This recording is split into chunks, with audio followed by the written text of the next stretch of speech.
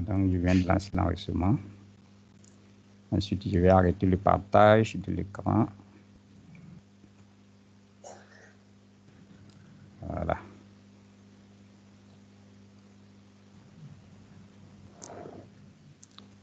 donc, comme je le disais, euh, le but de la première séance, comme c'est indiqué, c'est la prise en main de Microsoft Teams. Alors, quand on parle de Teams, c'est en fait euh, un package, c'est un ensemble d'applications voilà, qui sont utilisées pour pouvoir réaliser un cours en ligne. Et Teams n'est que euh, l'un des tenants. C'est juste un élément de ce package-là. Et donc, avant de s'attarder à Teams lui-même, voilà, on va d'abord euh, voir un autre élément qui est très important, qu'on appelle euh, OneDrive. Parce que pour faire un cours en ligne, il faut des ressources, des documents. Et ces documents, il faut les déposer, il faut les stocker quelque part. Et l'endroit idéal, Là, donc euh, c'est OneDrive. Donc c'est un espace de stockage virtuel euh, à disposition de chaque utilisateur et donc pour pouvoir y mettre et déposer tous nos documents importants. Donc désormais, on ne doit plus laisser nos documents euh, dans notre ordinateur, qu'ils soient à la maison ou au bureau. Voilà, c'est pas là qu'il faut les laisser. Il faut les déposer sur OneDrive, qui est un espace virtuel, de sorte que partout où on est, on peut accéder à nos documents. Voilà, qu'on soit en déplacement, qu'on soit euh, chez un ami, euh, on n'a pas notre ordinateur, on n'a pas, donc on peut accéder à nos documents. Et c'est ça l'avantage de OneDrive. Et c'est par ça donc qu'on va commencer. Alors, comment utiliser OneDrive? Comment accéder à OneDrive? Là, je vais partager mon écran. On commence.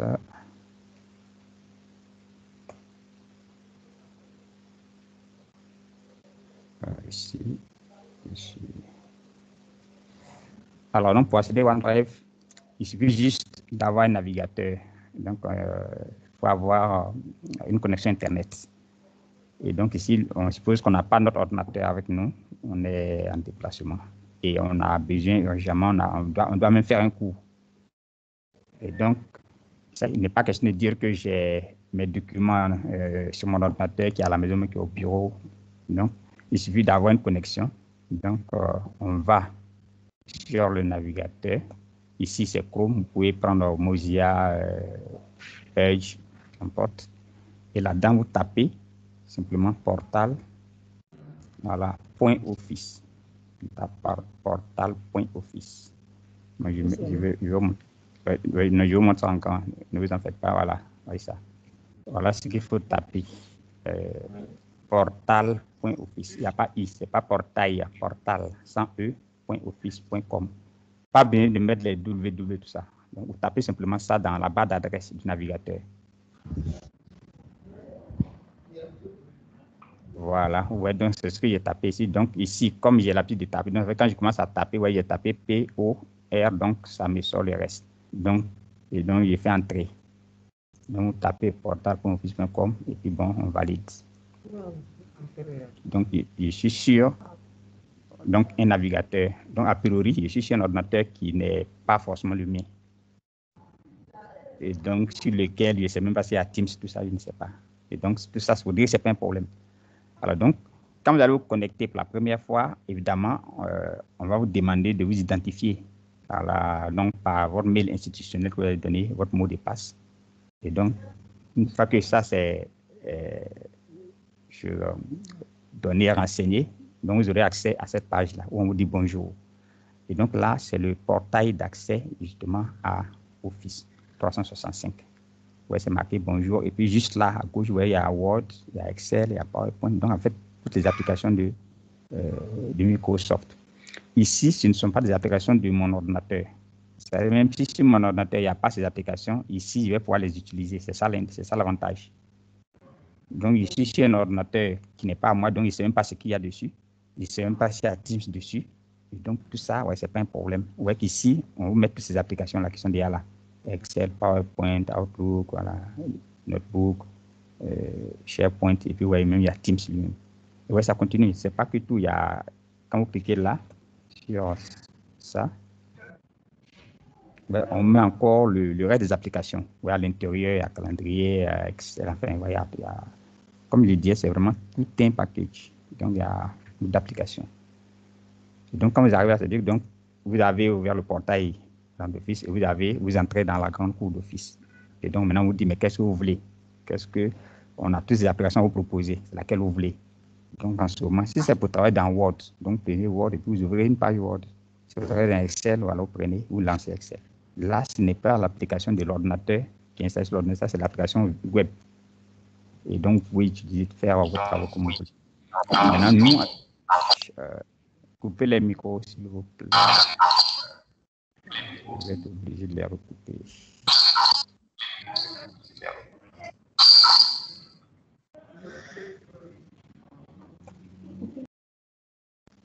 OK.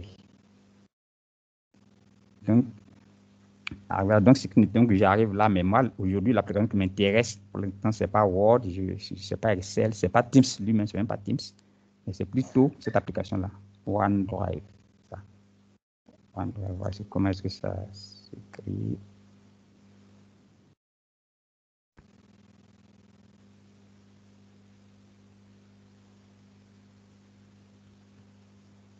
Voilà.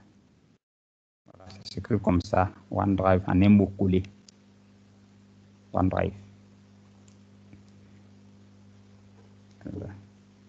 Et donc, c'est cette application-là qui nous intéresse. Comme il l'a dit, c'est une application Office qui est en fait un espace de stockage euh, virtuel euh, que chaque utilisateur a. C'est-à-dire que chacun de vous a un espace de 1 Teraoctet, c'est-à-dire 1000 gigas. C'est énorme vous avez ça à votre disposition. Donc, pour stocker, vous avez même tout le contenu de votre ordinateur. On ne sait jamais. Vous, stockez dessus. Là, c'est-à-dire que si on l'ordinateur prend un coup, ou bien si je ne l'ai pas, je n'ai pas trop de soucis à me faire. Parce que je sais qu'en fait, j'ai tout le contenu avec moi. En plus, je l'ai partout. Donc, c'est un, une application très, très, très importante. Alors, donc, il faut euh, savoir s'en servir. Donc, je reviens là, donc, on a, donc c'est cette application qui m'intéresse, donc il la repère ici, celle est là, ce nuage bleu, pour dire qu'on est, c'est dans le nuage, c'est dans le virtuel, donc c'est un espace que vous avez partout. Et donc, ce que j'ai fait, je viens, puis je clique dessus, je clique sur OneDrive.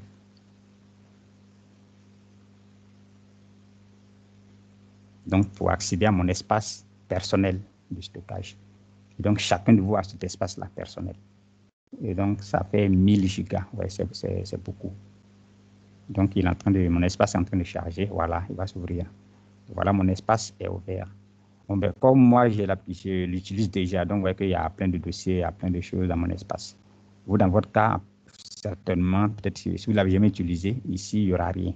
Euh, c'est vide. C'est-à-dire que vous avez 1000 gigas et vous n'avez même pas encore utilisé euh, 1 kilo octet. Alors, donc, on a l'espace, qu'est-ce qu'on fait? Comme il est dit, il s'agit de, déposer ici, de transférer ici toutes nos données qu'on a dans l'ordinateur.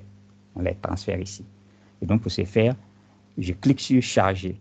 Vous voyez ici, c'est marqué charger. Donc, je suis déjà dans mon espace. Doit être ici dans cet espace et on il n'y a rien. Vous n'avez aucune donnée transférée là. Toutes vos données sont encore dans votre ordinateur. Donc, ce que vous faites, vous cliquez sur charger. Là. Et puis, vous voyez, il y a fichier ou bien dossier. C'est-à-dire, qu'est-ce que je veux charger? Donc, il peut décider, comme c'est pour envoyer tout le contenu, il peut envoyer complètement des dossiers. Il a tout le dossier avec tout le contenu à l'intérieur. Ou bien ça peut être des fichiers particuliers. En ce moment, je clique sur fichier. Donc, quand je pense, je clique sur fichier.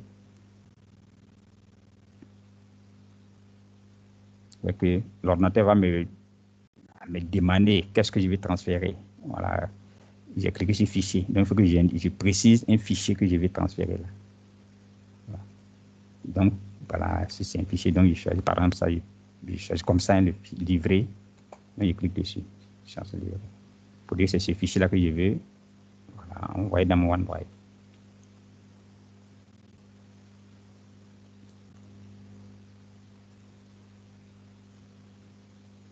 Voilà. Et vous faites pareil pour euh, les différents fichiers que vous voulez charger là. Ici, c'est un dossier, comme il est dit, donc on ne va pas le faire fichier par fichier. Donc, on prend tout le dossier voilà, on fait pareil. Là, en ce moment, clique sur charger. Voilà, au lieu de prendre fichier, on prend dossier. Et là, on va chercher le dossier en question qui est dans, euh, sur notre ordinateur. Et on le charge et il va se retrouver ici. Et donc ainsi, on va charger donc tout le contenu. Je dis bien tout le contenu de notre ordinateur, on le décharge ici. donc là, comme ça, désormais, on a toutes les données voilà, de façon virtuelle. On les a toujours dans notre ordinateur, mais désormais, on peut y accéder partout où on a une connexion. C'est surtout ça euh, l'avantage. Voilà, donc vous voyez que le fichier est chargé. Vous voyez qu'il est bien là, livré L2. Voilà, donc c'est ce qu'il vient de, charger. Donc, tout à l'heure, il était dans mon ordinateur, mais désormais, il est dans mon OneDrive. Donc, désormais, il est euh, en ligne. Mais c'est privé. Rassurez-vous, l'espace, c'est à vous. Vous pouvez accéder, vous avez dû mettre votre mot de passe. Mais ça, il reste privé. C'est pas parce que c'est en ligne que c'est euh, public. C'est votre espace privé. C'est-à-dire que tout ce qui est ici, reste, ça reste à votre disposition. Personne ne, peut accéder à ce document-là. Même l'administrateur ne peut pas accéder à ça. Ça reste votre espace privé. Alors donc, déposer tous les fichiers ici. Alors une fois que ça c'est fait, je suppose qu'on a pu envoyer tous nos documents importants là. Après, comme il est dit, le but c'est la fluidité, c'est de pouvoir y accéder facilement. Alors ce que vous faites ensuite, c'est de prendre votre téléphone. Voilà, ça peut être un iPhone, ça peut être un Android, importe. Il faut que ce soit au moins un smartphone, c'est-à-dire qu'on doit pouvoir au moins euh, naviguer dessus. Et vous allez, vous allez dans le Play Store, si c'est un Android, et puis vous, vous installez OneDrive. C'est vous entrez dans votre Play Store, vous tapez dans la barre de recherche, vous cherchez euh, OneDrive, vous avez Microsoft OneDrive, et puis vous l'installez. Voilà, si c'est un, si un, iPhone, vous allez dans le App Store, vous, vous cherchez OneDrive, vous l'installez également, c'est gratuit. Une fois que c'est installé dans votre téléphone, là encore, ça devient plus intéressant. Parce qu'à priori, le téléphone, en général, il n'y a pas euh, grand espace pour stocker. Un téléphone, euh, en général, c'est des, des, gigaoctets, ça peut plus c'est 10, 20, 30, c'est trop. Donc, qu'en principe, je ne peux pas stocker le contenu de mon ordinateur dans mon téléphone. Il n'y a pas de place, il n'y aura pas de place. Mais comme je viens de mettre le contenu de mon ordinateur dans OneDrive, alors donc, à partir du téléphone, je vais accéder à OneDrive. Et donc, du coup, c'est qu'à partir du téléphone, j'aurai accès à tous mes fichiers que j'ai mis dans le OneDrive. Et donc, du coup, ça devient intéressant. C'est-à-dire que même avec mon téléphone, partout où je suis, mais je peux, je peux travailler, je peux avoir accès à mon OneDrive, je peux accéder à un document important qu'on me demande d'envoyer quelque part. Je n'ai pas besoin de dire non, euh, je n'ai pas mon ordinateur ou bien je ne suis pas à la maison. J'ai au moins mon téléphone. Avec mon téléphone, je peux accéder à OneDrive. Ici, j'ai accès à OneDrive, donc j'ai accès à tout, mes, à tout le contenu de mon ordinateur également. Ah, donc, une fois qu'on a, qu'on a installé le contenu de l'ordinateur dans OneDrive, donc on prend son smartphone et puis on installe l'application sur le smartphone. Et il y aura un raccourci que ça va laisser, c'est un nuage bleu OneDrive. Et donc, quand vous, tapez dessus, vous, cliquez sur, vous lancez OneDrive, donc ça vous envoie directement dans cet espace-là. Vous aurez accès à tout ce que vous avez mis en ligne. Donc, c'est très important.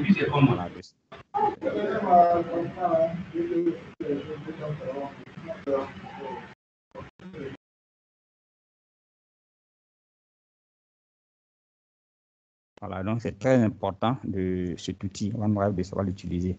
Parce que c'est, je dirais, c'est l'élément essentiel de, euh, de la mise en cours des lignes. Il faut d'abord avoir un endroit où stocker les documents, nos, ressources. Et cet, endroit-là, il doit être facilement accessible. Et ensuite, maintenant, le reste, voilà, faire le cours, c'est autre chose. Donc, c'est donc, il tenait déjà à expliquer cet aspect-là. OneDrive, qui est l'espace de stockage, c'est 1000 gigaoctets. Et donc, c'est beaucoup, ça peut prendre beaucoup d'éléments. Et chacun de vous a droit à ces 1000 gigas. Et donc, comme je n'utilisais pas, c'est comme c'est du gâchis. Vous avez ça à votre disposition et puis bon, vous n'utilisez pas. Donc, le fait d'avoir un, un, compte institutionnel vous donne, vous donne accès donc, à cet espace-là, OneDrive. En plus, comme je l'ai dit, OneDrive est juste une composante du pack Office. Donc, des applications qui sont en, euh, en ligne, que ce soit en passant par Excel, PowerPoint, Word, toutes ces applications-là sont accessibles. En fait, euh, plus de temps, euh, tout supprimer pour laisser ce qui est là. Donc, je vous appelle le soir pour qu'il y plus complète.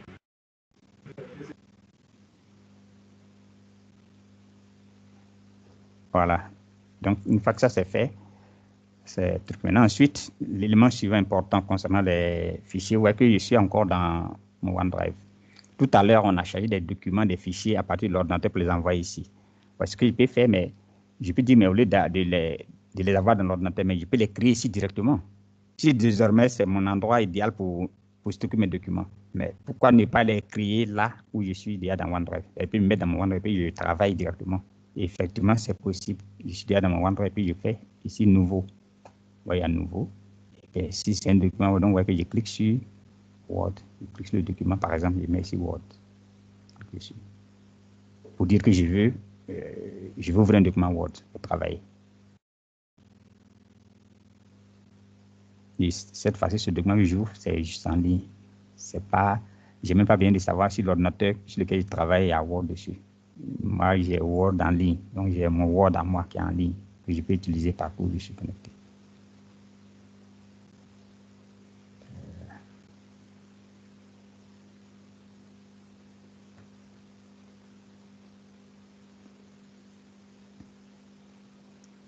Voilà, c'est en train de charger. Ça va charger donc pour m'ouvrir une page Word.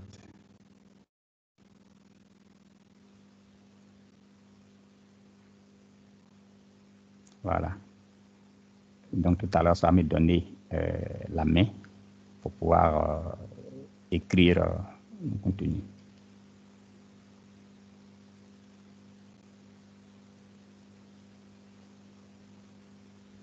Ils sont en train de charger. En train de charger la barre des outils voilà, en haut pour dire que, que j'ai tout ce qu'il faut pour éditer la mise en forme de mon texte. Voilà, donc j'ai une page et qui n'attend que les instructions, qui attend mon contenu. Donc, à d'ici, je peux, je peux écrire mon contenu.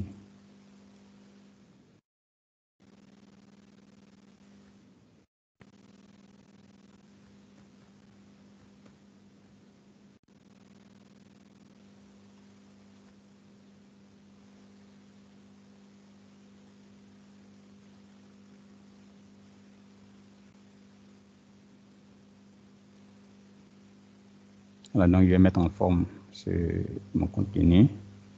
Je vais centrer par exemple.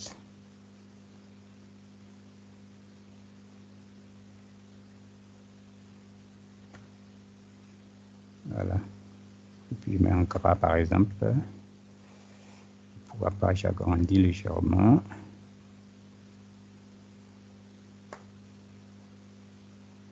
Voilà, bref. Donc, j'ai un document Word, voilà, que je peux donc éditer ici. Donc, je peux mettre un contenu, mettre euh,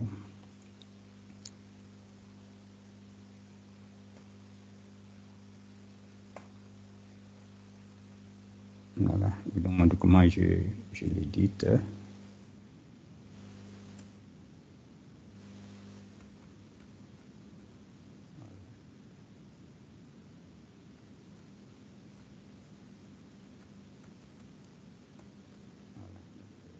De suite. Je, je mon document. Et puis donc, cette fois-ci, je me suis mis dans OneDrive pour créer mon document. Donc après, quand je ferme cette page, donc c'est dans mon espace. Et le, document ne sera pas dans l'ordinateur sur lequel je travaille parce que j'ai l'ai sur OneDrive dans mon espace virtuel. donc quand je ferme, il n'y aura pas de travail. Même si c'est dans cyber que j'ai fait ce travail, le document n'est pas dans l'ordinateur du cyber. Donc, ça reste disponible. Je travaille dans mon espace OneDrive. Et donc, ça, donc il peut faire ce travail-là dans la machine d'un collègue, d'un ami. Voilà, je n'ai pas besoin de clé après pour récupérer mon document parce que je, me suis mis dans mon espace pour travailler. Donc, tout ce que je fais reste dans mon espace. Je n'ai pas besoin de, de, déplacer, de charger après. Alors, donc, je suppose qu'on s'est mis dans notre euh, espace, on a conçu un document. Alors, l'étape suivante, c'est qu'est-ce qu'on veut faire de ce document-là? On est dans aujourd'hui dans un monde d'échange, de collaboration, de communication. donc, on suppose mon document que je le conçois, ce n'est pas pour moi seul. Il est destiné à des personnes. Alors, quelles sont ces personnes-là? Donc, il y a la notion de partage. Je veux le partager avec qui, mon document? Alors, donc, là, je, vais décider, je vais savoir qui, avec qui je partage. Donc, je clique là où il y a partager. Donc, je clique sur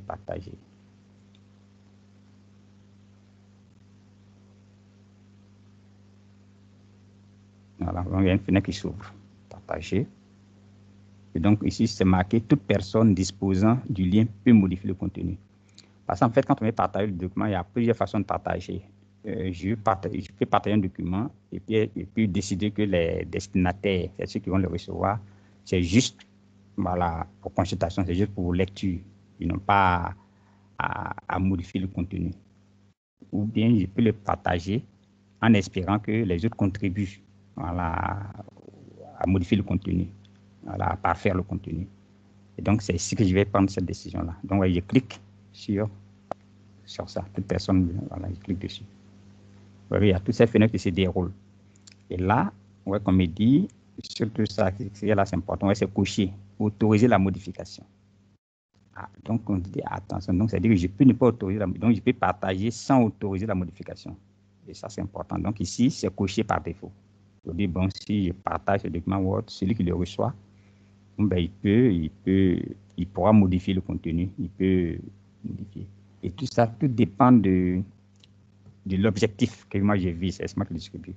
Ça peut être un document que je, qui est destiné peut-être à un ou des collègues, et peut-être que c'est une proposition peut-être de sujet, par exemple. Et je souhaite que, euh, j'ai fait une proposition de sujet, par exemple. Et peut-être je souhaite que euh, le collègue, euh, il, il fasse sa contribution lui dit, bon, par exemple, j'ai proposé tel, tel exercice pour, euh, le contrôle. Donc, il ne sait pas ce que tu en penses. Est-ce que tu pourrais. Enfin, voilà. Et donc, évidemment, il va aussi euh, regarder et puis dire, bon, cette question-là, moi, je pense qu'on va. Et puis, bon, il apporte sa contribution. Là, c'est une collaboration. Voilà, sur un, et là, un sur commun. Et donc, c'est vrai, ici, je peux décider que ce soit lui seul. Donc, je lui envoie, c'est lui seul qui a cet accès-là, de modification. Et, donc, et l'avantage, c'est que quand il va contribuer, quand il va modifier, c'est automatique. C'est qu'il c'est pas qu'il fait ces modifications puis il me les envoie. Non, il, il contribue directement. Il, donc je reçois ça directement, ça apparaît dans mon document. Et on peut même le faire de façon euh, simultanée. On peut même travailler dessus. Lui, peut être chez lui, moi, chez moi, et puis bon, mais on travaille sur le même document.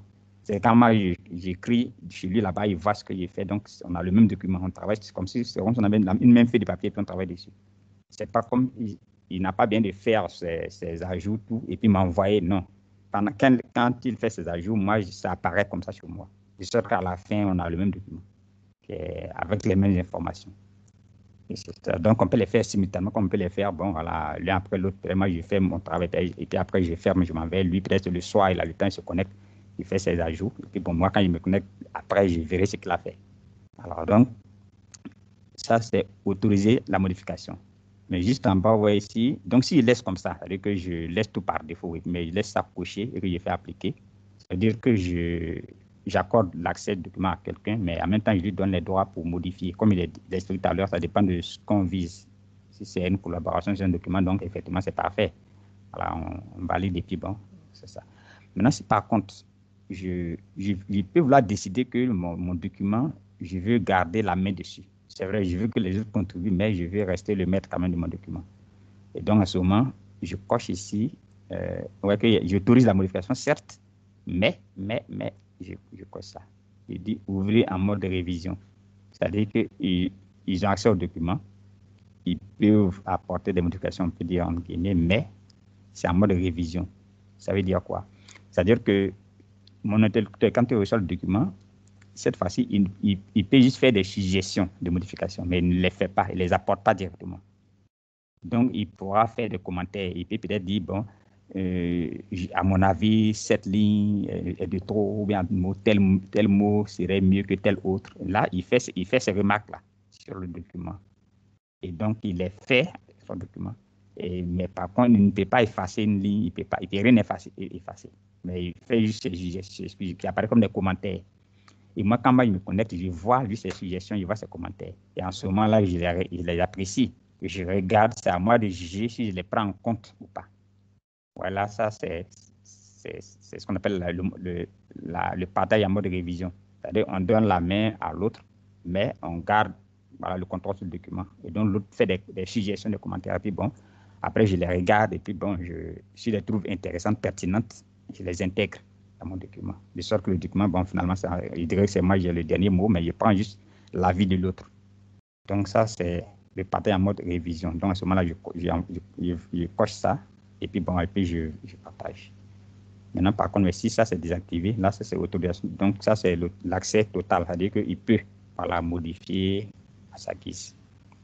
Alors, une fois que j'ai fini de faire tout ça, bon, ici, le reste, on peut les par défaut. Ici, à définir la date d'expiration. C'est un accès que j'accorde sur le document. Donc, ce n'est pas euh, indéfini. Je peux, je peux limiter ça dans le temps. Je peux dire, bon, je lui donne, il lui donne une semaine pour réagir sur mon document. Après une semaine, bon, s'il n'a rien dit, donc je considère que, voilà, je valide. Donc, ça peut être dans le cadre d'un travail, un projet commun. Donc, on peut, on peut euh, donner l'accès aux autres. Et puis, pendant, pour un temps limité, vous avez deux ou trois jours pour réagir, pour apporter vos, vos, vos, vos contributions au document. Après ces trois jours, celui qui n'a pas réagi, on suppose que bon, il n'a rien à dire. Et donc, à ce moment, dans ce moment-là, on met une date ici, la date d'expiration, voilà, pour le partage. On peut mettre le mot de passe, tout ça, bon, ça dépend de choses. Alors, une fois qu'on a paramétré tout ça comme on le souhaite, c'est-à-dire qu'on veut partager, puis on, a déjà choisi le mode de partage, et donc on fait appliquer. Voilà, appliquer cette fois-ci, j'ai les paramètres. Donc, on me renvoie ici me demande, mais je vais partager justement avec qui mon, mon document question, c'est avec qui je vais le partager. Et donc ici, ce qu'il faut, c'est juste de, de, de, de, mettre les noms de, des personnes avec lesquelles je vais partager mon document. Donc, je vais taper ici par un, un mail, par exemple, je tape, euh, je prends ici, donc je vois Aka Mathilde en haut, donc je tape ça.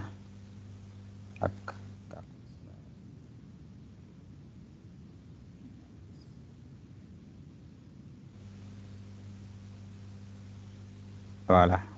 Donc, vous voyez que dès que je commence à taper, il me fait des suggestions en bas.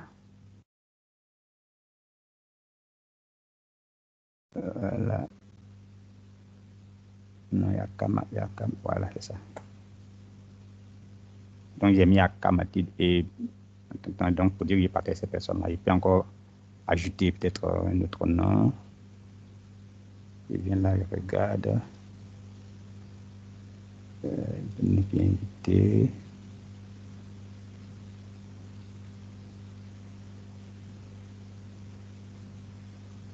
Voilà, donc il voit, il y a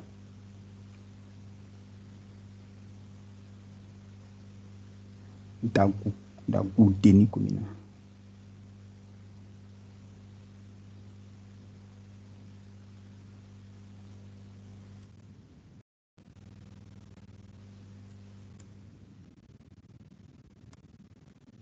Kumina. j'établis le début en général. Voilà. J'établis le début, ouais, que ça sort ici. Tout le nom sort d'Agoudeni Kumbena. Kumbena plutôt. Donc, je valide. Et donc, ainsi de suite. Donc, je peux mettre là euh, les collègues, mais les personnes lesquelles je souhaite partager ce document. Je mets là. Maintenant, ça peut être avec tout un groupe aussi. C'est-à-dire que si c'est dans le cadre euh, d'un enseignement, après, je vais partager le document avec toute une classe. Donc, à ce moment-là, je peux taper là euh, le nom de l'équipe et donc, en ce moment-là, ça, ça peut sortir. Ouais, par exemple, si je mets ici euh, formation.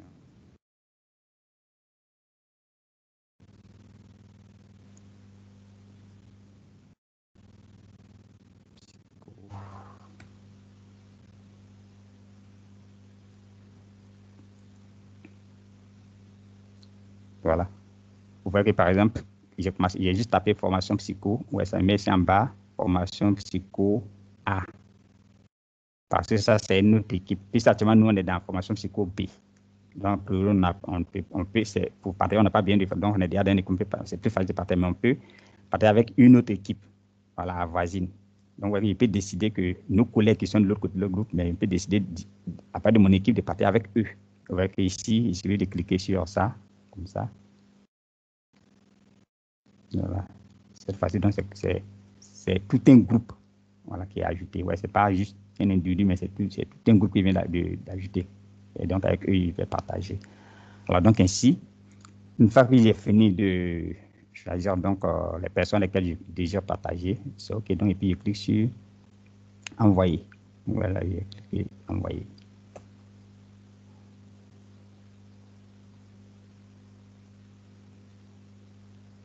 Voilà, et donc, les personnes concernées bon, recevront des notifications voilà, pour leur dire qu'il y, a un document euh, sur lequel ils sont invités à, contribuer.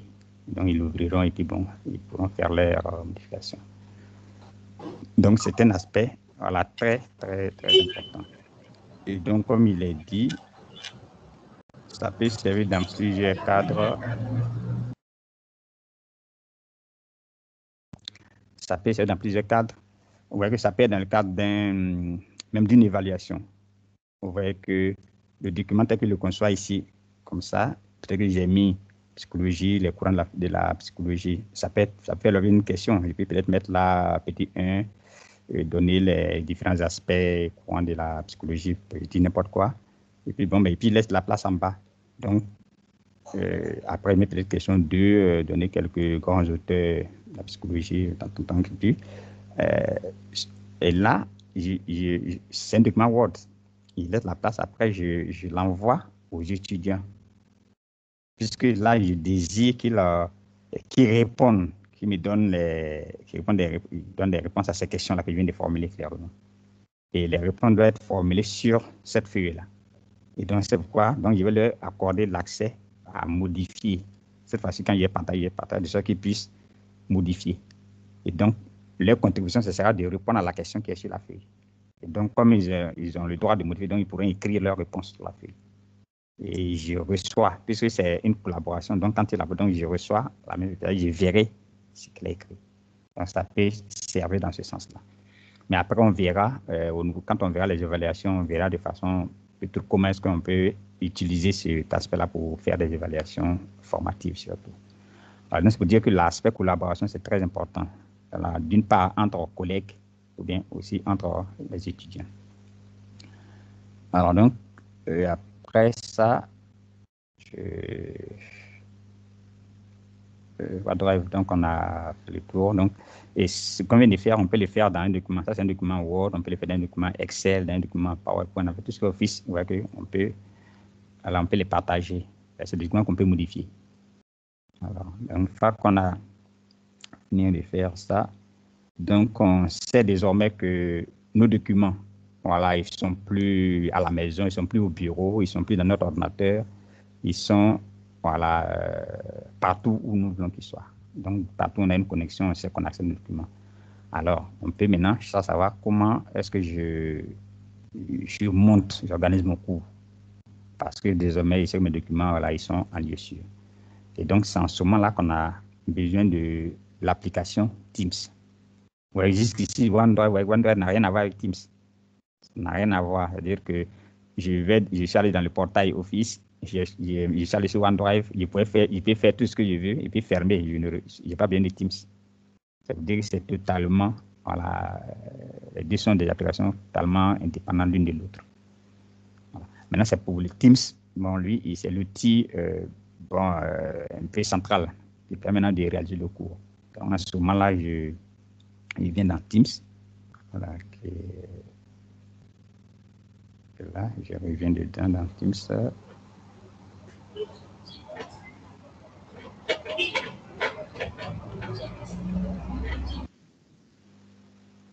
Voilà, donc je, je, viens dans Teams.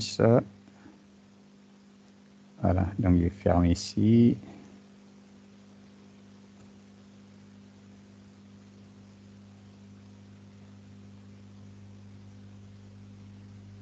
Je vais me mettre dans voilà. Donc, je me retrouve sur mon espace de travail. Là, je suis Mais nous, on, va on part de zéro. Donc, on suppose que euh, tout ça, je ne peux même pas arriver ici. Je ne sais pas comment il fait. Donc, on va, on, commence, comme le dit, euh, au point zéro. Donc, j'ai allumé mon ordinateur, j'ai mis mon mail institutionnel avec mon mot de passe, et donc je me retrouve ici. En général, il n'y aura pas grand-chose donc, il y aura que des équipes euh, auxquelles je suis inscrit. C'est-à-dire qu'il y a des équipes, bon, je suis soit étudiant ou propriétaire, donc elles vont figurer ici. Alors, donc, si c'est pour faire un cours, donc ça veut c'est maintenant que je dois créer le cours.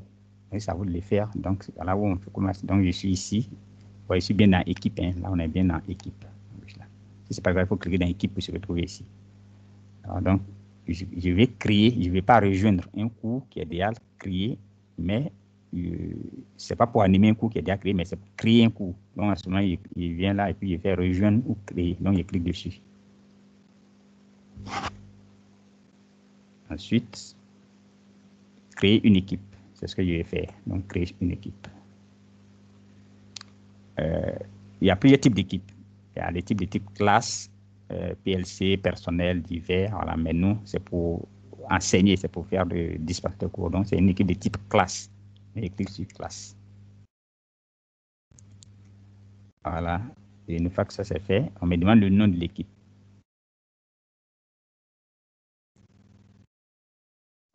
Et donc ici, je donne un nom, je vais dire, je dis n'importe quoi, on reste en psycho, je mets en psycho, je vais dire 2. Je suppose que c'est le nom de mon... Ici, quand on parle d'équipe, il faut voir en termes d'UE. Voilà, c'est comme si un cours qu'on veut créer. Donc ici, exemple, je vais mettre, pour que ce soit un sens, je mets ici UE. Donc c'est le nom du, lieu du cours que je vais euh, donc ici, je peux donner une description pour dire un peu en quelques lignes le contenu du lieu, mais c'est facultatif. Et donc après, ben, je, je fais suivant.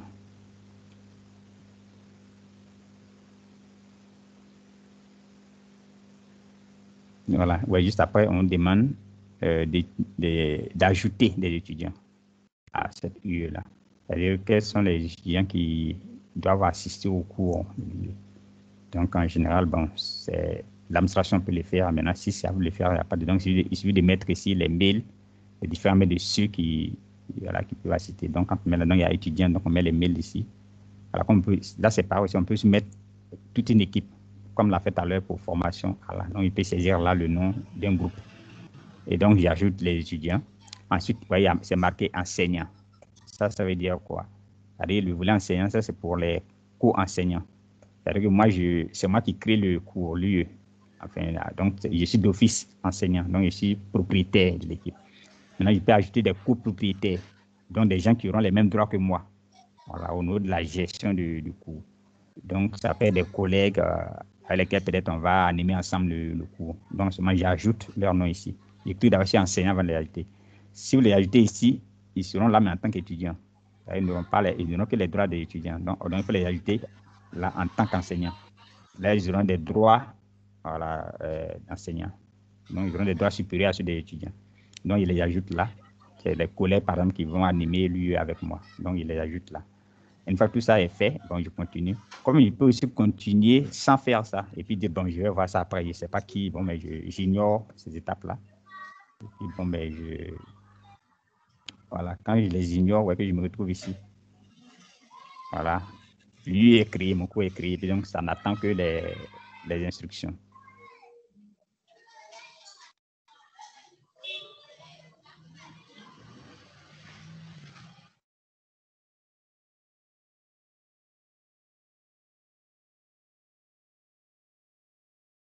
Voilà, donc ça attend que les instructions. Alors, une fois que c'est là, qu'est-ce qu'on fait? C'est-à-dire que c'est mon premier cours euh, que j'ai fait? Si c'est un cours qui a, si c'est où il y a des EQ, donc en ce moment-là, je vais créer des canaux. En ce moment-là, je vais mettre ici. Et puis, bon, ben, je, je mets ajouter un canal. Voilà, donc dans ce psycho-là, donc je peux mettre ici, peut-être dans donc psycho, je mets santé, je dis, bon, euh, donc il y aura une EQ consacrée à, la psychologie de la santé, par exemple. Et puis, bon, ben, je, et puis, je fais ajouter.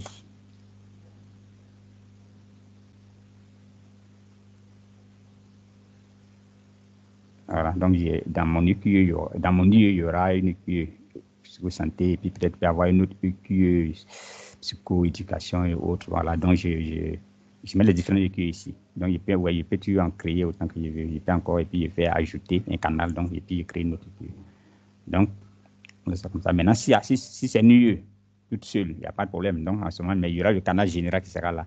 C'est le canal qui est toujours là par défaut. S'il n'y a pas de queue, donc, tout va se passer dans le canal général.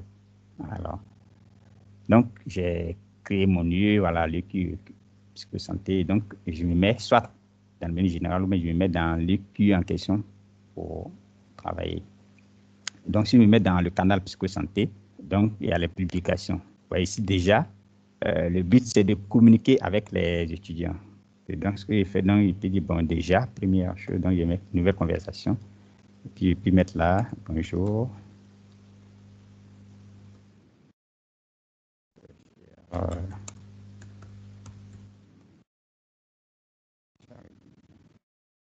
donc, c'est déjà mon premier contact et puis j'envoie ça directement.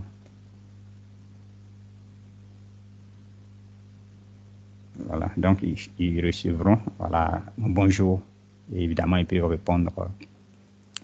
Voilà, un problème. Donc cette fois-ci, cette fois elle a envoyé, ça, ça c'est envoyé sous forme de. Là, c'est comme si c'est un chat. Vous voyez que c'est juste un petit bonjour, l'information est partie. Maintenant, ils peuvent, ils peuvent là dire non, mais je ne vais pas juste envoyer mon information, elle est trop brève. Je veux qu'elle soit euh, beaucoup plus visible. Donc, je vais donner de l'allure à mon information. Cette fois, il vient dans la conversation au lieu d'écrire cette fois-ci simplement, avant d'écrire, donc je clique sur ça. Oui, je mets là, format. C'est marqué format. Je clique sur format. cette, cette façon me donne plus de place pour écrire mon message. Parce que je, je, veux que ce soit un message beaucoup plus poignant, plus important. Et donc en ce moment, j'écris là. Voilà. Et donc quand je fais ça, je mets ici. Euh, donc, euh,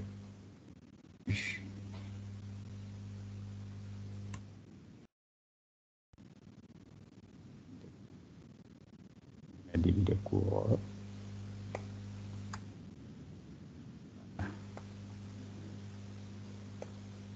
Et puis donc je mets ici euh, un.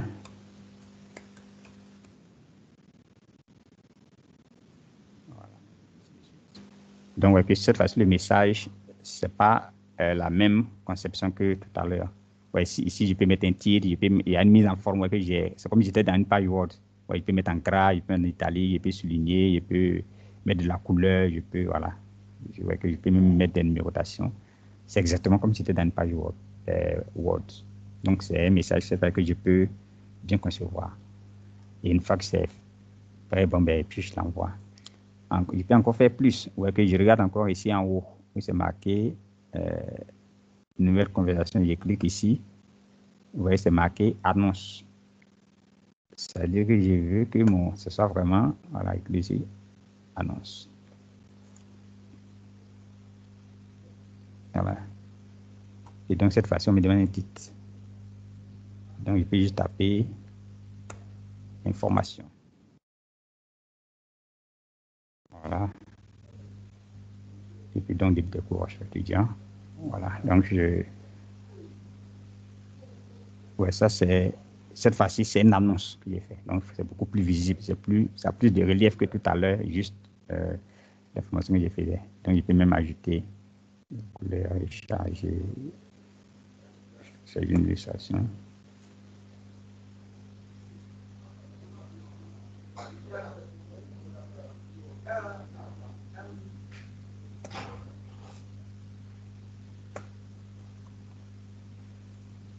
Voilà. Donc, voilà ce que ça va donner comme présentation. Et une fois que ça c'est fait, ben, cette fois-ci, ce n'est pas juste un message. Donc, ça, c'est beaucoup plus visible. Je vais envoyer ça aux étudiants. Mais avant d'envoyer, regardez encore ici en haut, on dit tout le monde peut répondre. Euh, c'est moi qui décide. Je, peux vouloir que ce soit juste une information. Ce n'est pas à commenter. Il, n'a pas à répondre. Dans ce moment, il met ici. Euh, vous et les modérateurs peuvent répondre. Donc, c'est-à-dire que les étudiants, en fait, ils n'ont pas à réagir sur l'information. Donc, en ce moment, je, voilà, je, je, clique ça, je clique vous et les modérateurs. Mais si je laisse, tout le monde peut répondre. Bon, c'est-à-dire que je leur, je leur permets de réagir. Ça dépend de moi. Si je pense que je veux qu'ils commentent, ils peuvent commenter en bas. Mais c'est-à-dire qu'on peut ne pas vouloir qu'il y ait de commentaires. Donc, en ce moment-là, on met vous et les modérateurs peuvent répondre. Ensuite, ça, c'est l'étape suivante ici, plusieurs, plusieurs canaux. C'est-à-dire que l'information qu'il vient de saisir, je peux dire, bon, mais elle, il est saisi dans le canal psycho-santé, dans l'UE psycho 2, mais en fait, c'est une information qui est beaucoup plus générale. Je suis enseignant, mais j'interviens également euh, dans une autre UE là-bas qui est psycho 1, donc, mais je voudrais que l'information soit euh, diffusée au même moment voilà, dans tous ces groupes-là. Mais je ne vais pas aller dans chacune de ces U et puis saisir encore le même message. Donc, il est saisi une fois pour toutes. Donc, en ce moment, c'est ici que je décide. Je vais cliquer sur plusieurs canaux. Voilà, et donc ici, on me demande, bon, mais ici, ça sera là, mais où est-ce que je veux que l'information apparaisse encore? Je vais cliquer là, sélectionner canaux. Et vous voyez que ici, on me met la liste des différents canaux qui sont dans, euh, dans mon équipe auxquels a accès. Vous voyez que je peux décider, parce que ici, nous, on est dans Psycho 2. Vous voyez que je peux, par exemple, décider que ce, soit dans ce canal-là, Psycho B. Et donc, puis ça, je prends, ça, je prends la prise en main.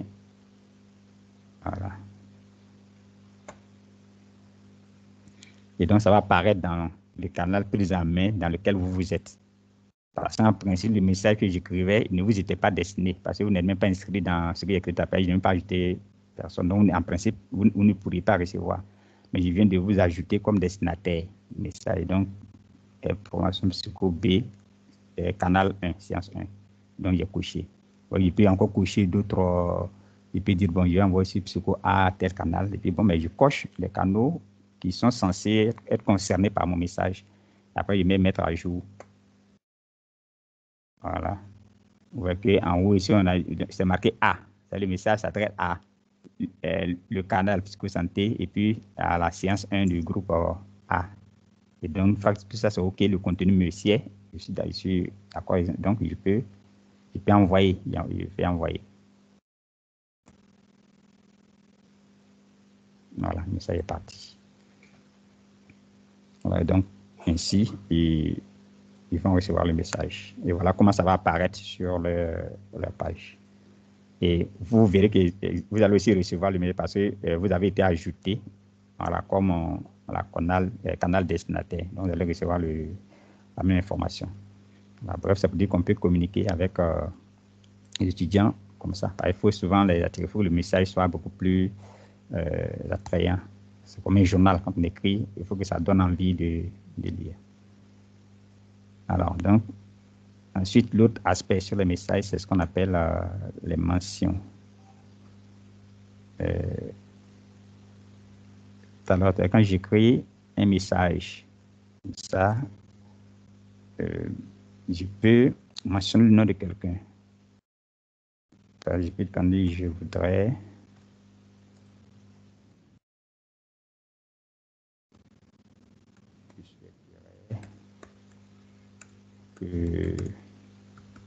mon collègue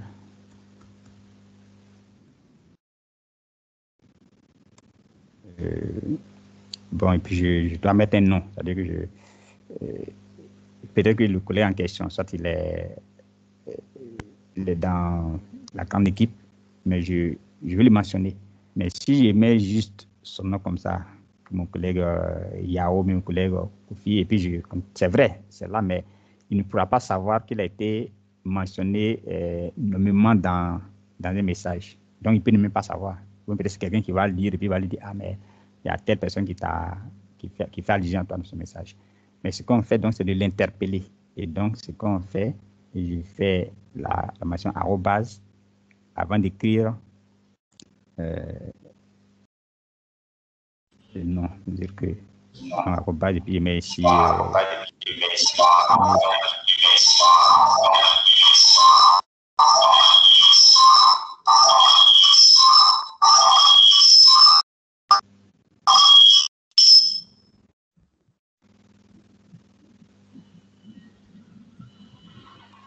voilà, donc ici, mais mets quoi pour bon, ça ne met pas de raison. Donc,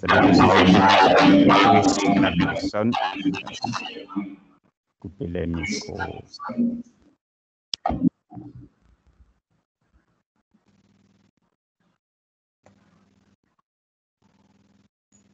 Je vois, il y a une main en l'air là, c'est Kwaku, Kwadjo, Kwadjo Antoine. Il y, a une, il y a une préoccupation. Ou bien c'est euh, Je suis avec. Euh, allô? Vous m'entendez? Oui, allô Oui, oui.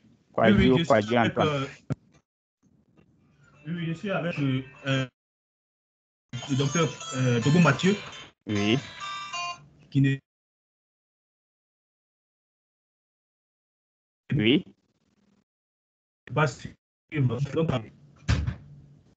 Euh, en fait, mais je ne vous entends pas très bien. C'est le mot de passe du docteur Adogbo Mathieu. Je voudrais savoir comment. Adogbo Mathieu. Son mot de passe. On a. Donc, ouais, il n'a pas, il n'a pas plus. Il n'a pas, son mot de passe. Comment donc son mot de passe, s'il vous plaît? Non, mais là, euh, il aurait fallu, euh, enfin, euh, régler ça avant, avant la séance. Ouais. en principe, voilà, en principe, il n'y a, pas, y a, y a vraiment pas de problème, mais ouais, en pleine séance, ce n'est pas la même procédure. Pour, pour trouver le mot de passe, il faut réinitialiser, en fait. Je n'ai, voilà, en fait, je n'ai pas le mot de passe en tant que tel. Mais si vous ne l'avez pas, donc on suppose que vous l'avez perdu, par exemple. Mm-hmm. Voilà, et donc ce que j'ai fait en ce moment-là, je réinitialise. Je réinitialise euh, voilà, l'ancien, mais on va bien le connaître, donc on réinitialise et puis on, vous envoie un autre. D'accord? D'accord, donc il va le faire avant la fin de demain. Sans problème, sans problème, il n'y a aucun problème. Il n'y a aucun problème. Merci bien. Voilà. voilà. Voilà, mais rappelez-moi, après vous m'envoyez un message comme ça pour, me, pour que je me rappelle. Parce que après, il faut oublier le nom, je ne saurais pas c'est qui. Donc, vous m'envoyez, vous, vous m'envoyez un mail. Un mail. Oui. D'accord, j'ai compris. Merci bien. Voilà, il n'y a pas de quoi. Voilà, on continue.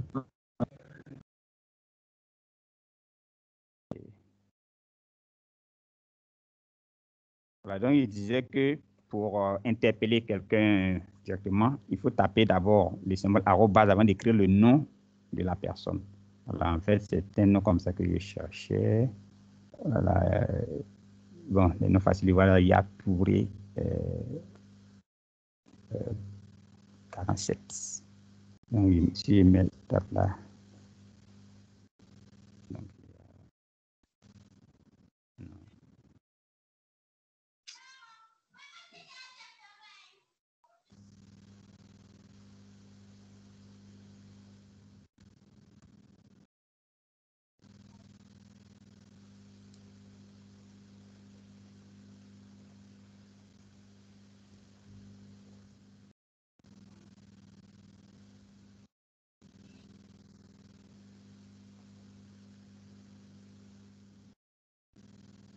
Voilà, donc ici, il ne me fait pas la suggestion parce que j'ai pas, c'est normal, il n'y a personne en fait dans l'équipe ici. Il n'y a personne euh, qui sont enregistrés. On n'est pas dans l'équipe, dans votre équipe B. On est dans UE Psycho 2. Les suggestions ne correspondent pas.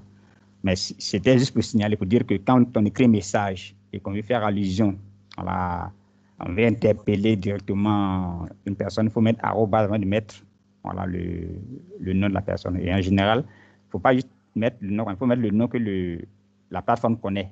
Donc, quand vous tapez soit le nom, donc il va vous faire la suggestion du nom complet puis vous valider. Là, c'est sûr que euh, mais si vous mettez juste Touré comme ça, bon, lui, arrobas Touré comme ça, non, ça n'aura pas de sens. Il faut s'assurer qu'il d'abord reconnaît le nom, ça pas vous valider. Donc, le nom va apparaître de l'autre côté et il va recevoir une notification pour dire qu'il y a on tape et puis on écrit votre message. Je souhaiterais que mon collègue euh, pourrait vous envoyer les messages. Donc, ça également, c'est important, souvent de mentionner euh, quelqu'un dans le message pour qu'il sache rapidement voilà, que vous avez une information à son endroit. Une fois que ça c'est fait, je valide. Et puis, ben, voilà, la personne mentionnée recevra un message pour dire que voilà, il y a quelque chose qui le concerne. Donc ça, c'était euh, concernant les, les messages. C'est important de savoir comment les élaborer dans le message. Alors maintenant, autre chose, tout ce qu'on écrit ici, voilà, tout ce que vous écrivez euh, ici, comme on l'a dit, c'est public. Enfin, quand on est public, c'est pour le canal, pour l'UE. C'est tous ceux qui sont dans l'UE, donc ils ont accès à la page, donc ils peuvent lire ces messages-là. Donc, du coup, même si vous mentionnez quelqu'un, ça ne veut pas dire que le message s'adresse à lui seul. Les autres vont voir, mais seulement parce qu'on veut qu'il lui soit, euh, au moins, qu'il soit euh, rapidement informé que le message le concerne. Mais les autres, ont accès au message aussi. Donc là, c'est des messages qu'on va dire publics. c'est pour tout le groupe. Voilà, maintenant, si c'est des messages qu'on veut écrire de façon euh, privée, parce qu'après, c'est une plateforme d'échange, je peux dire, mais c'est vrai, je vais mettre la personne, mais je ne veux pas que non plus que ce soit tous les autres membres du groupe euh, voient ce que écrire. Et là, donc, si je mets là, c'est public. Donc, seulement ce que je fais, que il y a un volet ici, ouais, que c'est ici, il y a les volets euh, conversation, ouais, on a mis activité, calendrier, devoir, fichier. Ici, je peux mettre la conversation.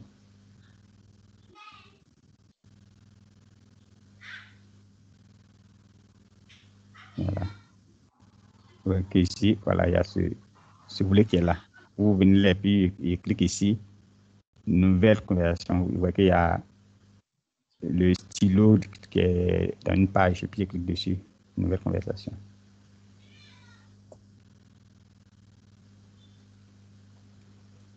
Voilà. Ouais, cette fois-ci, c'est beaucoup plus précis. C'est à la forme d'un mail. Ouais, cette fois, on me demande A. Voilà, je vais écrire euh, A. Cette Alors, tout à l'heure, on ne me demandait pas, j'écris et puis j'envoie. On ne demande pas de destinataire de l'autre côté. C'est parce que justement, ça s'adresse à, tout, à tous les membres de l'équipe. Mais ici, on me demande à qui Entrer un nom, une adresse mail, un groupe, une balise. Et donc, en ce moment, j'entre un nom, une adresse, et puis bon, mais je, je tape ici, par exemple, euh, voilà. Donc, quand, dès que vous commencez à taper, on fait des suggestions. Ce que par exemple, cette personne-là est là, voilà, c'est un nom que je reconnais qui est dans le truc. Euh, voilà, euh, Kwasi Afoui, Lisa, et puis voilà, c'est qui est dans le groupe. Vous voyez que si je tape le message de suite, voilà, donc le message est, ça devient un message privé. Donc, on va mettre là bonjour.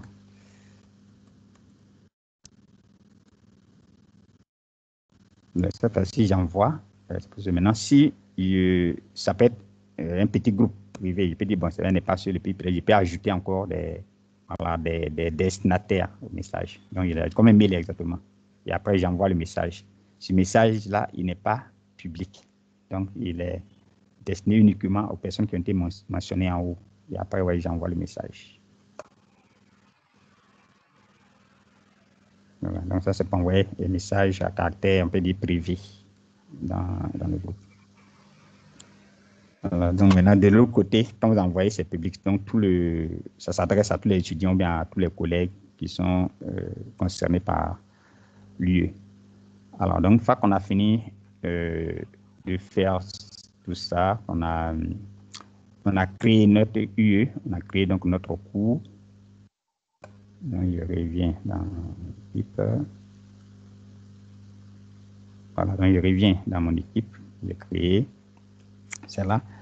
Comme je l'ai dit, donc, le tout d'hier, c'est de, de programmer un cours. Parce que c'est pour faire un cours. Il il faut que je fasse, de l'animer, de faire des cours.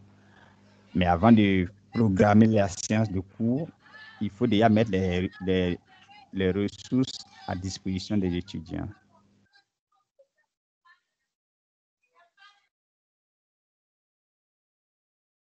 Alors, donc, bien avant, il faut que l'étudiant ait le support. Donc, et pour ce faire, je viens ici. Donc, je vais fichier. Donc, je clique sur fichier. C'est déjà dans, dans le canal adéquat. Et donc, je clique ici sur fichier pour mettre des ressources à disposition des étudiants.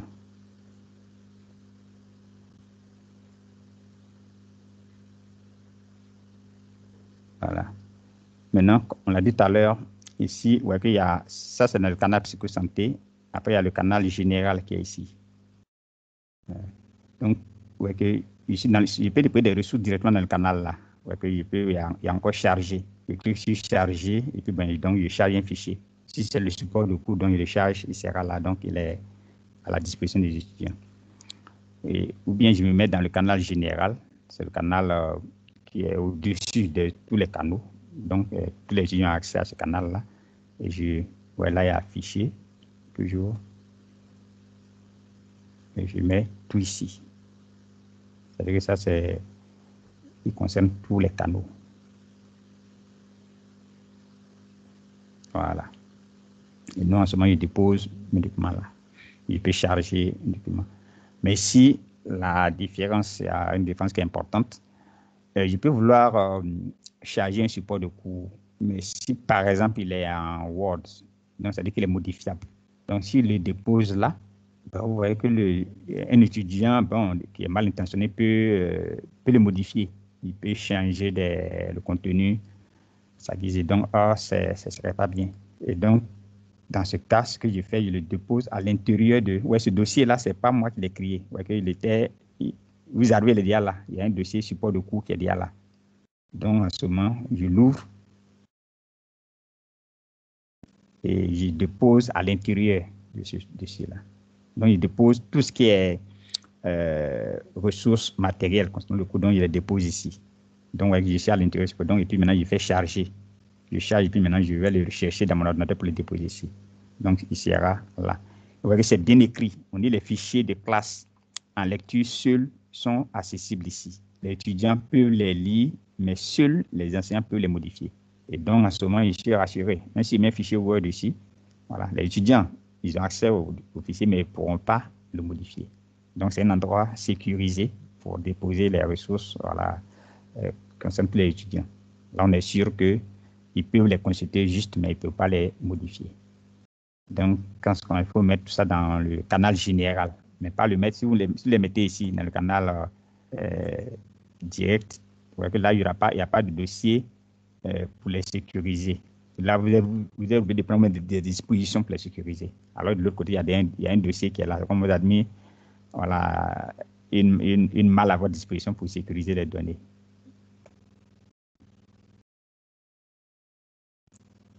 Donc, cet aspect-là est important, puisqu'il est question d'envoyer les, documents, les supports de cours. Donc, il faut qu'on sache exactement où est-ce que je les mets. Voilà, et je dois être conscient de ces Je les mets là, bon, parce que je sais que, alors bien, je les mets ici parce que je veux que ce soit sécurisé. Donc, ces aspects, c'est important de, savoir.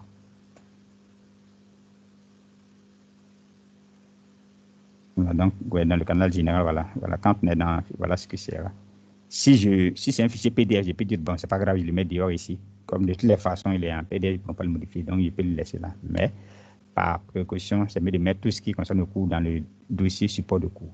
Là, comme ça, alors on est tranquille. Et si on les met dehors, tu es obligé de sécuriser. Voilà. En fait, on peut, on peut sécuriser, mais on est obligé d'aller dans OneDrive faire des choses bon, pour, voilà, pour les rendre euh, non modifiables. Bon, on peut dire le mettre directement ici. Alors, donc, ça, c'est fait. Donc, on suppose que avant le cours, on a déposer les ressources. On a déposé les documents voilà, qui peuvent être indispensables à la compréhension du cours qu'on va faire. Donc, en ce moment, on, planifie le cours. Donc, il vient là et puis ben, je, vais planifier mon cours. Il vient là, j'ai des avec eux, j'ai déjà mis les ressources voilà, qu'ils auront besoin de consulter pour, comprendre le cours.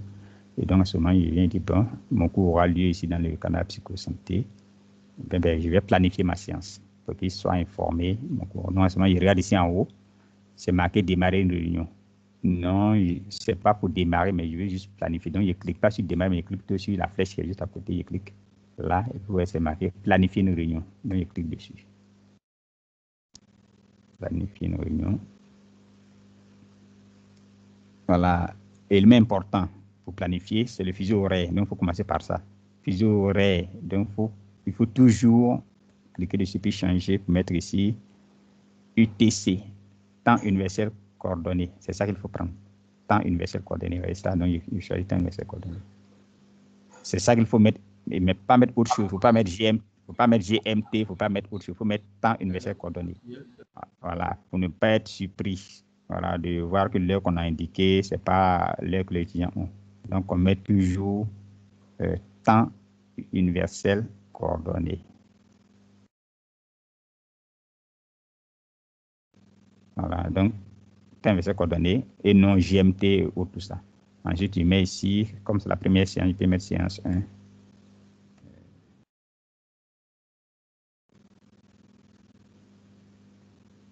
Voilà, donc je mets la séance 1. Donc, la date de la séance, comme c'est pour planifier, donc elle a lieu peut-être, euh, je vais dire, le, le jeudi, le 17, euh, de 16, on va dire 16h15. Je fais exprès pour dire, bon, je pense 16h15. Vous voyez qu'ici, quand je compte, ça met 14h, 14h30, 15h, 15h30. il n'y a, pas il a pas 15, il n'y a pas 45, tout ça. Mais si moi je veux 15, il n'y a pas de problème. Donc, je clique d'abord dessus, vous voyez que c'est sélectionné en bleu. Donc, et puis je commence à écrire.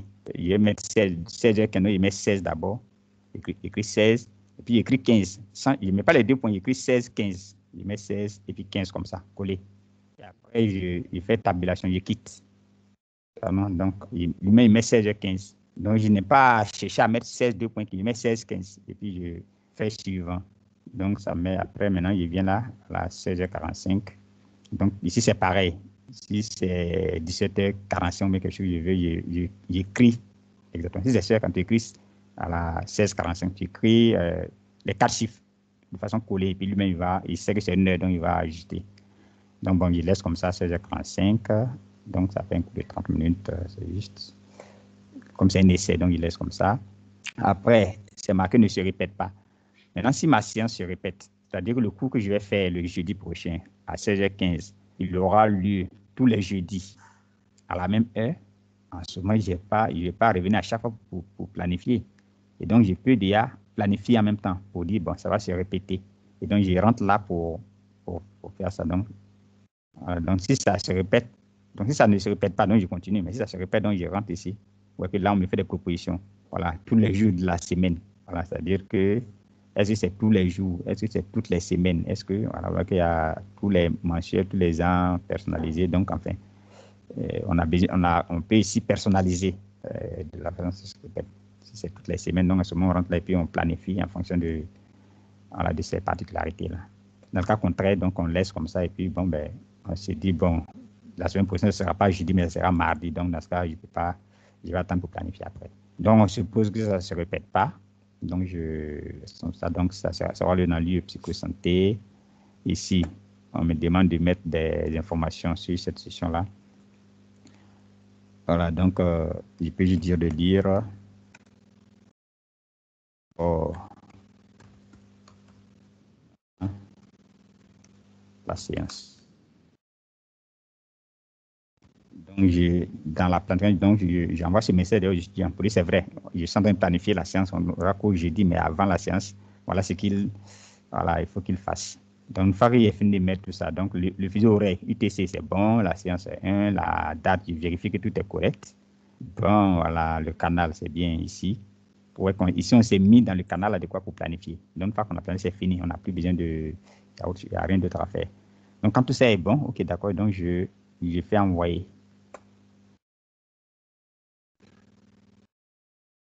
Voilà, voyez, c'est parti. Voilà, et donc on voit que juste en dessous ici, vous voyez que la science apparaît.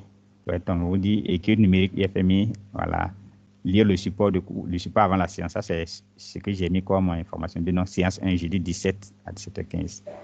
Voilà, donc vous voyez ici, justement, vous voyez un décalage. Tout à l'heure, quand on a planifié, c'était 16h15. Vous voyez ici, on met 17 Donc ça, c'est pas un souci. C'est quoi c'est important d'être sûr que vous avez mis effectivement euh, temps, temps universel coordonné. Donc ça, les étudiants, ils, auront la bonne heure. Ici, on a, comme il y a un décalage d'une heure, ce n'est pas un décalage, ils auront la bonne heure. C'est 16h15, de 16h15 à 16h45. Voilà, donc la séance est planifiée, tout est OK. Il peut dire, bon, j'attends bonnement le jeudi pour venir faire mon cours. Bon, j'ai déjà mis les ressources à disposition. Bon, euh, tout est bon, donc on attend la séance. Alors, le jour de la séance, euh, à quelques minutes de la séance, comme c'est planifié, les étudiants peuvent arriver avant vous. S'ils arrivent avant vous, évidemment, ils vont lancer, ils vont venir et puis ils vont lancer. Donc, ils vont, ils, vont entrer dans la salle avant vous. Là, quand vous venez, vous verrez que c'est déjà donc vous ne faites que les rejoindre. C'est vous qui êtes le premier, donc vous lancez. Mais l'avantage de planifier, c'est que au moment où vous arrivez, en général, ils sont déjà là, ils sont déjà connectés. Donc, vous ne perdez pas trop de temps pour commencer. Voilà, maintenant, c'est peu que je n'ai pas eu le temps de planifier. J'étais, j'étais bousculé, je n'ai pas eu le temps de. Ou bien on m'a informé au dernier moment que le cours c'est demain, donc je n'ai pas eu le temps de planifier. Et, mais au moins, les étudiants ont l'information que le cours c'est aujourd'hui à la. Aujourd'hui à 16h par exemple, savent qu'il y a cours. mais je n'ai pas pu planifier. Mais comme j'ai l'information, le cours aura lieu. Il faut désactiver les micros.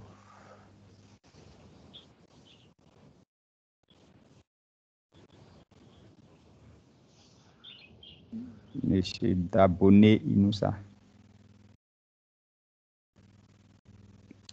Voilà, donc le,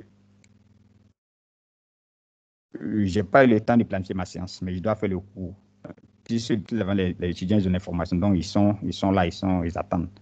Dans ce cas, qu'est-ce que je fais Donc, je viens sur la page, je viens dans le canal. La séance n'est pas planifiée comme ça. Donc, n'y a, pas le temps de faire ça. Donc, je viens directement et puis je fais démarrer la réunion. Donc, en ce moment, démarrer la réunion. Voilà, parce que là, ce n'a pas été planifié, donc on va commencer directement. Donc, si j'ai le temps d'arriver peut-être quelques minutes avant, je lance la séance. Là, ils verront que je suis, je suis là et puis bon, ils vont me rejoindre et puis on va commencer. Donc, je fais la séance. Euh,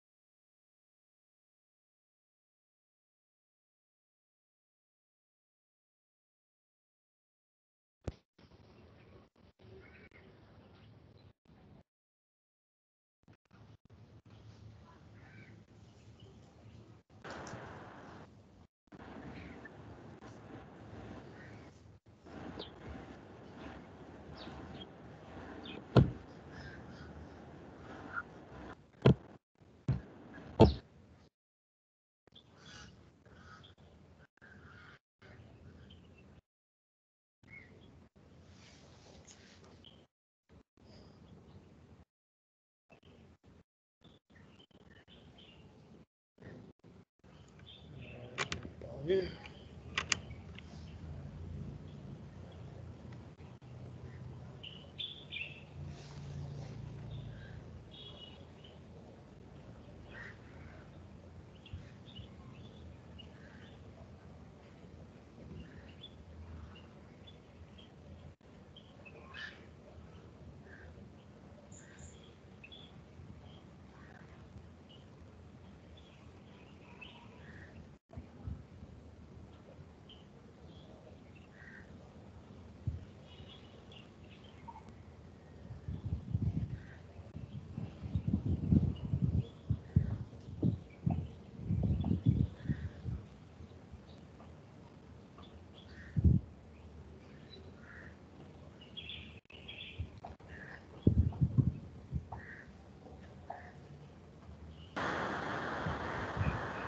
Je n'attends plus rien.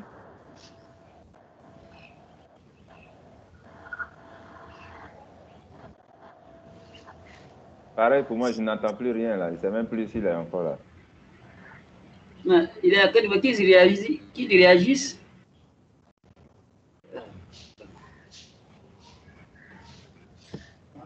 Oui, ça passe chez vous. Est-ce que ça passe chez vous? Chez moi, là, je n'entends plus. Docteur Mété, je, non, non, je n'entends plus rien. Il n'y a que les photos de professeur d'abonnés et docteur Tobi que je vois. Oui. Mais, mais lui, mais il est parti où? Oui, allô? Chef Oui, moi, moi non plus, je n'entends Moi non plus, je n'entends rien. Ouais, vous m'entendez maintenant? Moi, moi je n'entends rien. Vous m'entendez maintenant? Docteur, Allô? Oui, on, on- oui. Moi, je, Oh, moi, je n'entends rien. vous. Vous m'entendez? Vous m'entendez? Oui, Oui, oui, ça commence à aller. Ok. Donc, euh, c'était perdu. Ah, ok. Hmm. Ok. C'est bon Ah, on Oui. attend maintenant, mais il n'y a, a plus rien à l'écran là. Oui, oui, c'est normal. Je, je vais revenir à l'écran. Je vais revenir à l'écran. D'accord. D'accord. En fait, je, je disais simplement que on a vu euh, comment planifier la séance. Et après, les questions maintenant de démarrer une séance qu'on n'a pas le temps de planifier et qu'on lance directement. Là, en ce moment, c'est ce on rentre dans, euh, on rentre là et puis on fait démarrer une réunion directement. Ah là, Voilà, on hein. Vous, vous n'avez pas? Ok, On n'a pas ça à l'écran. Partagez votre écran, Non, s'il vous plaît. Ok, ok, ok, ok.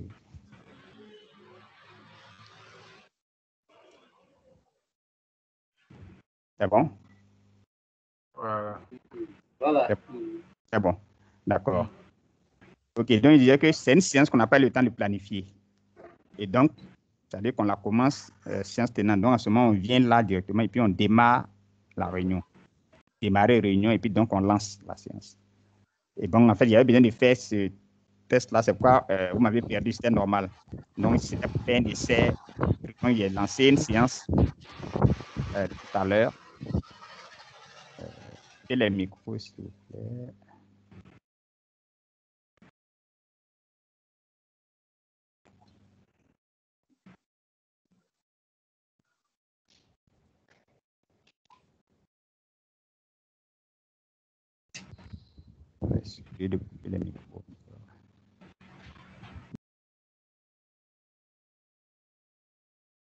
Voilà, donc euh, là, on démarre la réunion directement.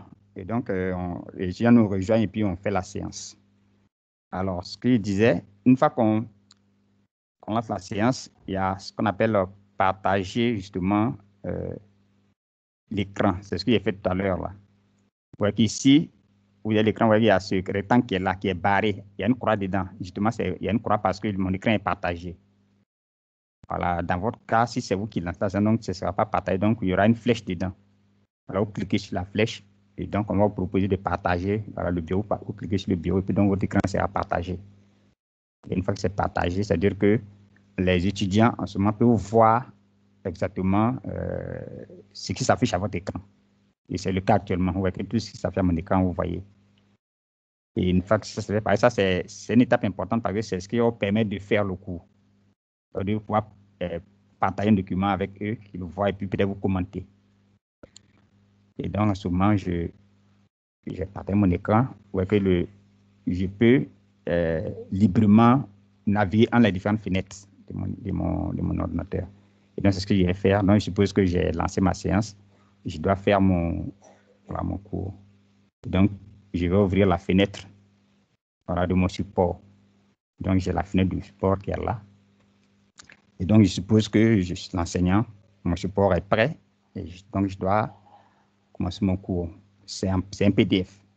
Vous voyez que déjà là, l'affichage, c'est pas, enfin, pas, pas pertinent parce que vous vous dites, ah, mais on ne voit pas très bien, on a du mal à lire. Et c'est normal. Donc, je dois soigner déjà la présentation. Donc, je vais agrandir ça. De sorte que les gens puissent, voilà.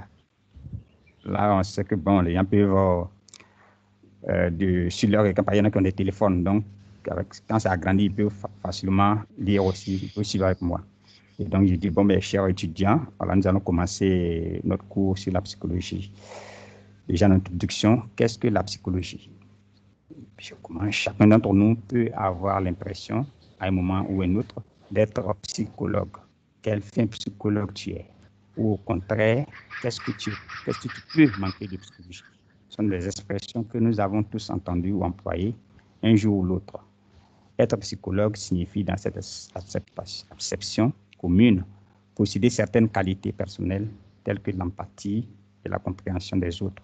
Au contrario, un individu qui ne, peut, présentant pas de telles capacités manquerait de psychologie. Ah, Donc, ainsi de suite, j'ai fait mon cours, je fais. Mais ce n'est pas tout un cours pour qu'il soit.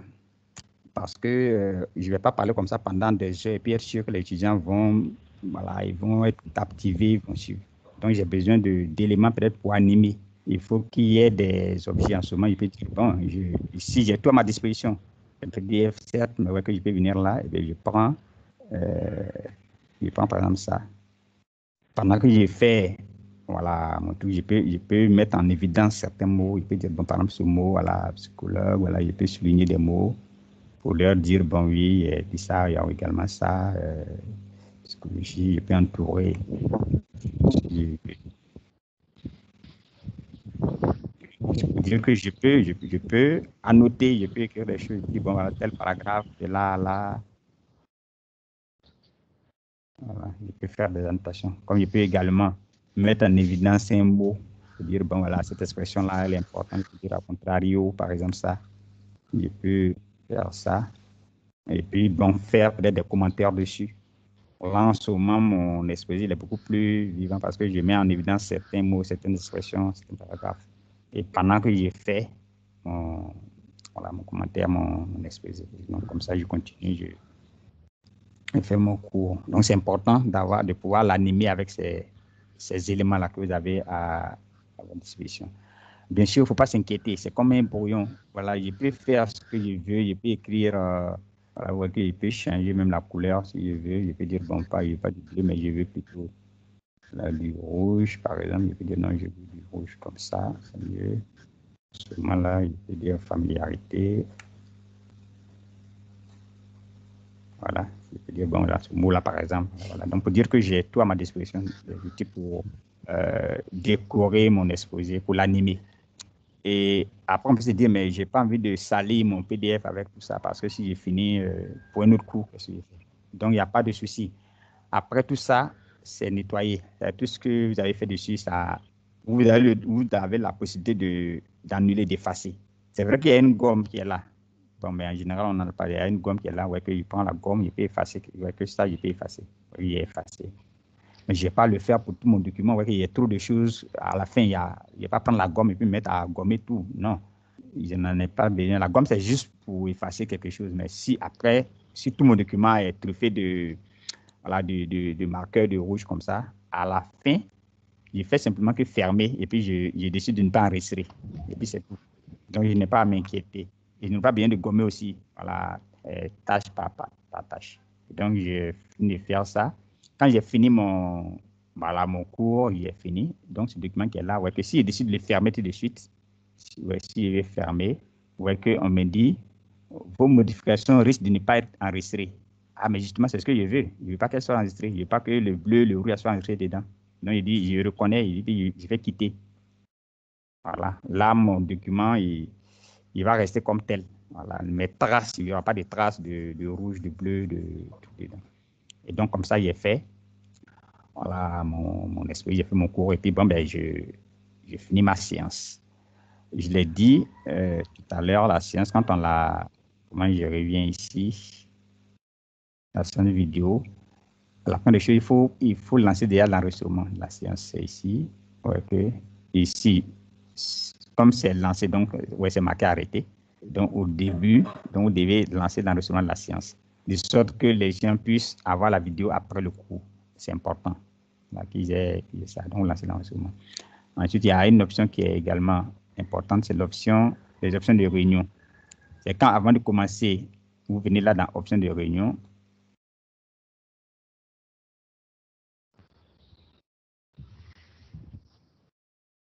Voilà, et puis, euh, on vous a dit qui peut, euh, qui peut éviter la salle d'attente il faut que ce soit tout le monde. Euh, pour ne pas que les gens attendent. Donc, les gens peuvent rentrer directement, ils se connectent, ils auront accès au cours. Ici, ce qui est important, c'est qui peut présenter. Voilà. Donc, il faut préciser que ce soit moi uniquement. C'est un aspect important. Là, ça va éviter que quelqu'un, un autre étudiant puisse euh, balancer comme ça euh, une image ou un document qu'il veut imposer. Donc, ça permet d'avoir la maîtrise de la science. Donc, ça, vous pouvez le faire directement à partir d'ici. Donc, c'est les éléments. Une fois que c'est fait, vous, mettez ce que vous voulez. Ou vous pouvez même euh, autoriser, les, micros pour les participants. Ici, on peut décider que les micros seront fermés de façon catégorique. Vous avez ce droit-là. On peut aussi autoriser euh, les caméras. Donc, tout ça, on peut décider de façon euh, à tel que, bon, pendant mon cours, euh, je vais parler, mais les autres n'auront pas le micro, ils n'auront pas de caméra. Mais en général, bon, pour un coup, si on veut qu'il y ait des échanges, on laisse en espérant que bon, les gens ne vont pas laisser les, les micros ouverts. Mais il faut dire, vous avez la main ici pour régler la séance telle que vous voulez qu'elle soit. Après, j'enregistre ces paramètres. Voilà, et puis donc mes paramètres sont pris en compte. Donc c'est moi ceux qui pourrais partager, tout le monde peut venir directement, il n'y aura pas de salle d'attente, et ainsi de suite. Et donc comme ça, est fait. Et puis à la fin de la séance ici, quand vous avez fini, c'est important, la séance, il ne faut pas, faut pas quitter directement, il ne faut pas cliquer sur quitter partie. Voilà, il faut euh, mettre fin à la réunion. Si vous quittez, vous que vous partez, c'est comme vous avez quitté la salle et vous laissez les étudiants dedans ils vont continuer à bavarder entre eux, ils vont continuer à causer. Donc, et, alors là, vous, êtes parti. C'est comme vous occupez la salle de façon numérique, la bande passante est occupée, alors qu'en fait, il n'y a pas cours. donc, c'est important, vous avez fini de venir là et de cliquer sur mettre fin à la réunion plutôt que de quitter directement. Mettre fin à la réunion, ça met fin à la réunion pour tout le monde. Mais quand vous quittez, c'est vous seul qui quittez, mais eux, ils restent. Mais je vous lancez un moment, quand vous quittez, tout le monde va dire que ça doit être fini. Et donc, ça, c'est important.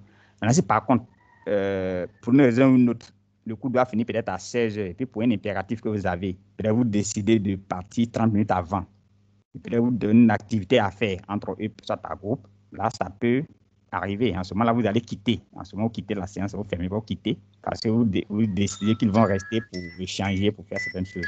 En ce moment, vous allez quitter, vous les, vous les laisser voilà, dans les micros aussi. Donc, en ce moment, il faut les laisser en eux. Sinon, dans ce cas de figure, il faut, euh, il faut mettre fin à la séance.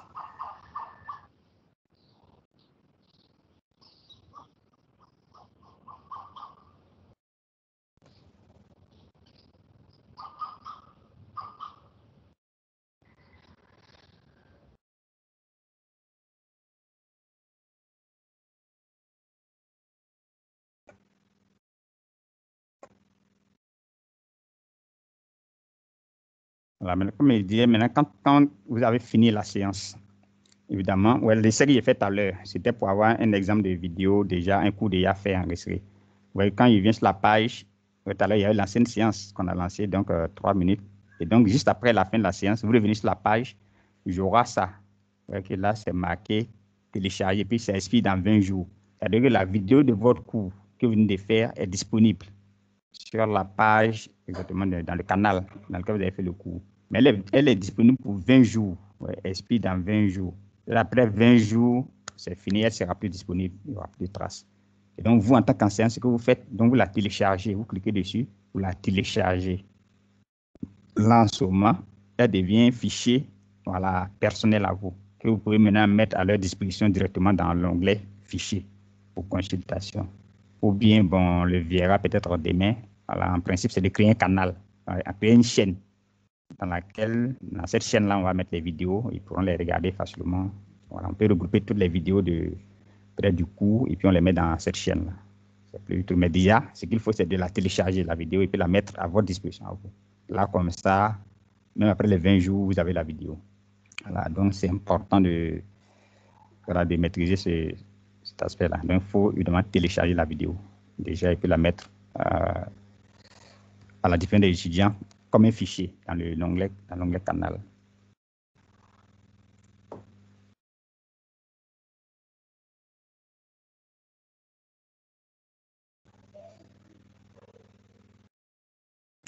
Voilà, donc à ce stade, je voudrais euh, m'arrêter quelques donc pour euh, prendre peut-être quelques préoccupations sur ce qui a été dit depuis, euh, depuis le début. Si quelqu'un veut intervenir, s'il peut lever sa main?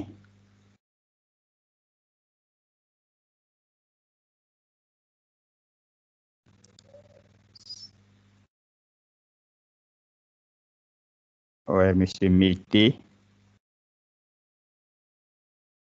Oui, activez votre micro et puis vous parlez. Oui, monsieur Mété, vous avez levé la main? Oui. Bonjour. Oui, bonjour. Euh, Oui, bonjour, monsieur.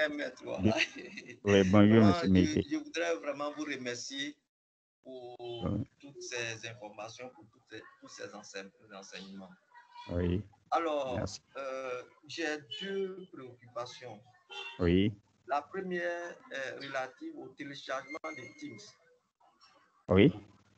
Bon, je l'ai fait sur, euh, enfin, j'ai deux ordinateurs Mhm, et j'ai pensé que c'est le parafeu qui s'était Mhm. opposé. Donc, mhm, je, suis allé dans le téléchargement mhm, et puis demander pour que euh, on me donne demande l'autorisation. mhm, Voilà. Donc, même avec ça, ça Mhm. c'était pas possible. Avec mhm, le deuxième, c'était la même chose. mhm, Alors, donc, je voudrais savoir comment m'y prendre. mhm. Là, c'est la, la première préoccupation. Oui. Mhm. La Mhm. deuxième, mhm, bon, avant, voilà, nous étions, bon, votre formation nous a permis de connaître OneDrive, comment rédiger message et tout ça. Voilà, la programmation d'un cours, tout ça, vraiment, c'est bien clair. Vraiment, je voudrais vous, en féliciter. En ce Euh, qui merci. concerne OneDrive, voilà, vous avez demandé d'aller sur euh, portal.office.com. Oui, c'est ça. Et comme moi, en même temps, j'avais un deuxième euh, ordinateur à apporter. Si, si, vous là, avez fait ça en même temps. Exactement, en Oui. même temps. Mhm. Et là, bon, il fallait mettre euh, l'adresse euh, ça, euh, institutionnelle. Et ensuite, ça. mettre suivant, on met le, Mot de passe. le mot de Oui, passe, c'est c'est ça. Bon, je oui, l'ai oui. fait, mais malheureusement, ça n'a pas marché. Bon, certainement qu'ils me disent que je m'étais trompé. Donc, j'ai fait du copier-coller. Donc, Mhm. ça dit que pour dire que la deuxième tentative était vraiment. euh, Oui, c'est ça. Mais Mhm. malheureusement, Mhm. on m'a dit que, que mon mot de passe n'était pas correct ou mon compte n'était pas correct. Donc, je voudrais savoir comment m'y prendre. Bon, voilà là mes deux, mes deux préoccupations. D'accord, merci, Monsieur Mété. Bon, déjà pour l'installation de Teams sur votre ordinateur, je, je crois que dans le mail, j'ai envoyé un lien. Dans le mail, euh, c'est ce lien-là que vous avez suivi. Oui, puisque un- pas pu. Oui, oui, c'est ce lien-là j'ai suivi. Et maintenant, quand vous téléchargez, vous n'avez pas installé. Non. Exécuter, vous cliquez sur exécuter, ça Et donne puis- comme réponse erreur. Euh, il doit avoir, euh, bon, il doit avoir un problème particulier au niveau de l'ordinateur. Sinon, en principe, ça marcher. Dans ce cas, ce qu'il faut, c'est de, Oui, euh, de voir si on peut trouver un temps où on peut. euh, ben là, c'est un problème, bon, plus. C'est plus Ouais. pratique. Il faut, voilà, il faut, si on peut se retrouver soit à la fac là-bas un jour et puis bon, on va voir de près, euh, voilà ce qu'on peut faire. Voilà, là, c'est, un problème particulier. Mm. D'accord. Donc Mhm. là, dans ce cas, euh, c'est un numéro ou bien je peux vous écrire? Oui. Euh, oui, oui, bon, bon, on peut. euh, le j'ai laissé-. Oui, je, je crois a- j'ai mis euh, des contacts dans le mail que j'ai envoyé aussi. Ah, d'accord, c'est compris. Oui, voilà. Vous pouvez m'appeler dessus et puis on peut, voilà, on peut s'accorder sur un jour, une heure et puis on va voir concrètement ce qu'il faut. Là, la machine même, on va voir ce qu'on peut faire. D'accord, c'est compris. Mhm. Maintenant, je crois que ça peut être le même souci pour le, pour le OneDrive. Ah, que d'accord, certainement, c'est d'un problème de paramètres. Parce que je, je, je vois même ici, actuellement, vous êtes, vous suivez avec quoi? Vous suivez la séance avec. euh, Euh, oui, j'ai dû arrêter l'autre parce qu'il y avait deux connexions, Mété et Mété Amadou. Donc, Ah, j'ai arrêté Mété Amadou et je suis maintenant avec Mété. Voilà, parce que je vois que vous êtes là en tant qu'invité. C'est ça. Voilà, d'accord. Donc, c'est OK, d'accord. Merci. Là, donc, je pense que c'est- ça. OK. Ok, merci. Mhm. Est-ce qu'il y a d'autres préoccupations? Quelqu'un veut réagir, il peut lever la main. Puis, euh,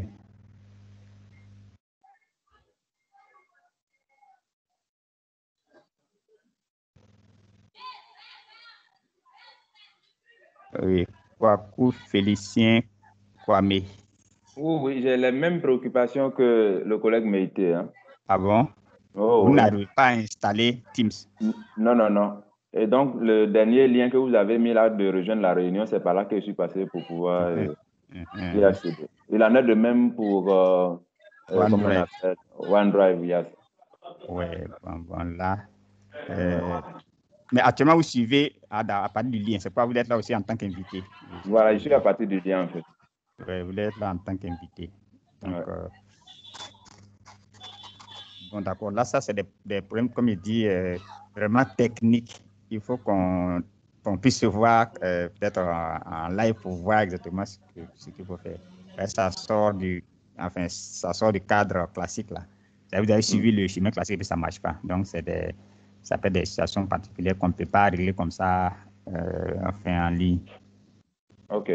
Hmm, mais on va, je vais essayer de voilà, voir d'ici demain s'il y, a, quelque chose qu'on peut faire, même après la séance en offre, pour, pour voir Hmm. si on peut arriver à, à trouver une solution avant demain. Ok, c'est compris. Hmm, Merci beaucoup. ouais, pas de quoi.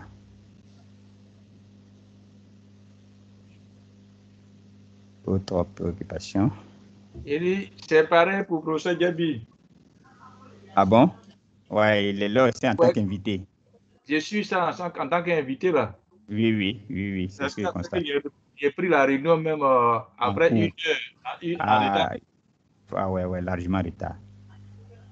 D'accord. Bon, là, c'est que ça devient euh, sérieux. Ça fait déjà plusieurs personnes qui sont dans situation là. Ok. Donc, on va. euh, D'ici demain, je vais essayer de. Je vais vraiment regarder pour voir si on trouve une solution déjà certainement globale à tous ces problèmes-là. Puis, c'est les mêmes problèmes. Voilà. Donc, certainement, si on trouve la solution pour un, elle sera valable pour les autres. Voilà. mais Donc, sur ça, je vais, voilà, je vais réfléchir. On commence demain l'après-midi. Je ne sais pas si la matinée vous êtes là pour régler nos problèmes d'abord. Non, non, bon, non, non, non, la matinée, je suis pas là. Mais les, on- les problèmes, bon, on s'appelle et puis si c'est possible, on peut régler. Sinon, en principe, le matin, j'ai euh, une séance également. Oui. Moi, je veux Oui, mais on comprendre. peut, oui. On peut tout suivre en tant qu'invité à, à- à partir du même, du même lien. Oui, oui, demain, oui, il n'y a pas de problème. Si c'est possible, il n'y a pas de problème. Ah, d'accord. Oui, non, pour suivre la séance, il n'y a aucun problème. On peut suivre en tant qu'invité. Mais ce n'est pas normal. On, on doit être fait pour régler ces soucis-là pour que vous puissiez suivre en tant que, voilà, de façon pleine, quoi. Hmm, D'accord. Voilà, mais il faut qu'on- sinon, si c'est pour la séance, vous pourriez suivre la séance sans problème. Mais il faut qu'on règle ce détail-là pour que vous soyez membre à part entière et non en tant qu'invité. Hmm. Donc, tout à l'heure, d'ici, dès la séance, après la séance, je vais déjà commencer à, avoir, à regarder de près pour voir euh, euh, quel est le souci, pour voir si on peut le régler dès ce soir déjà. Donc, il y a, plusieurs personnes qui sont concernées par, ça.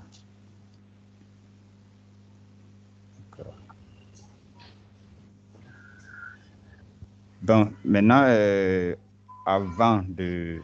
Ah oui, Dagou Denis, c'est ça? Il y a eu une main. Oui, monsieur Dagou Denis Komina.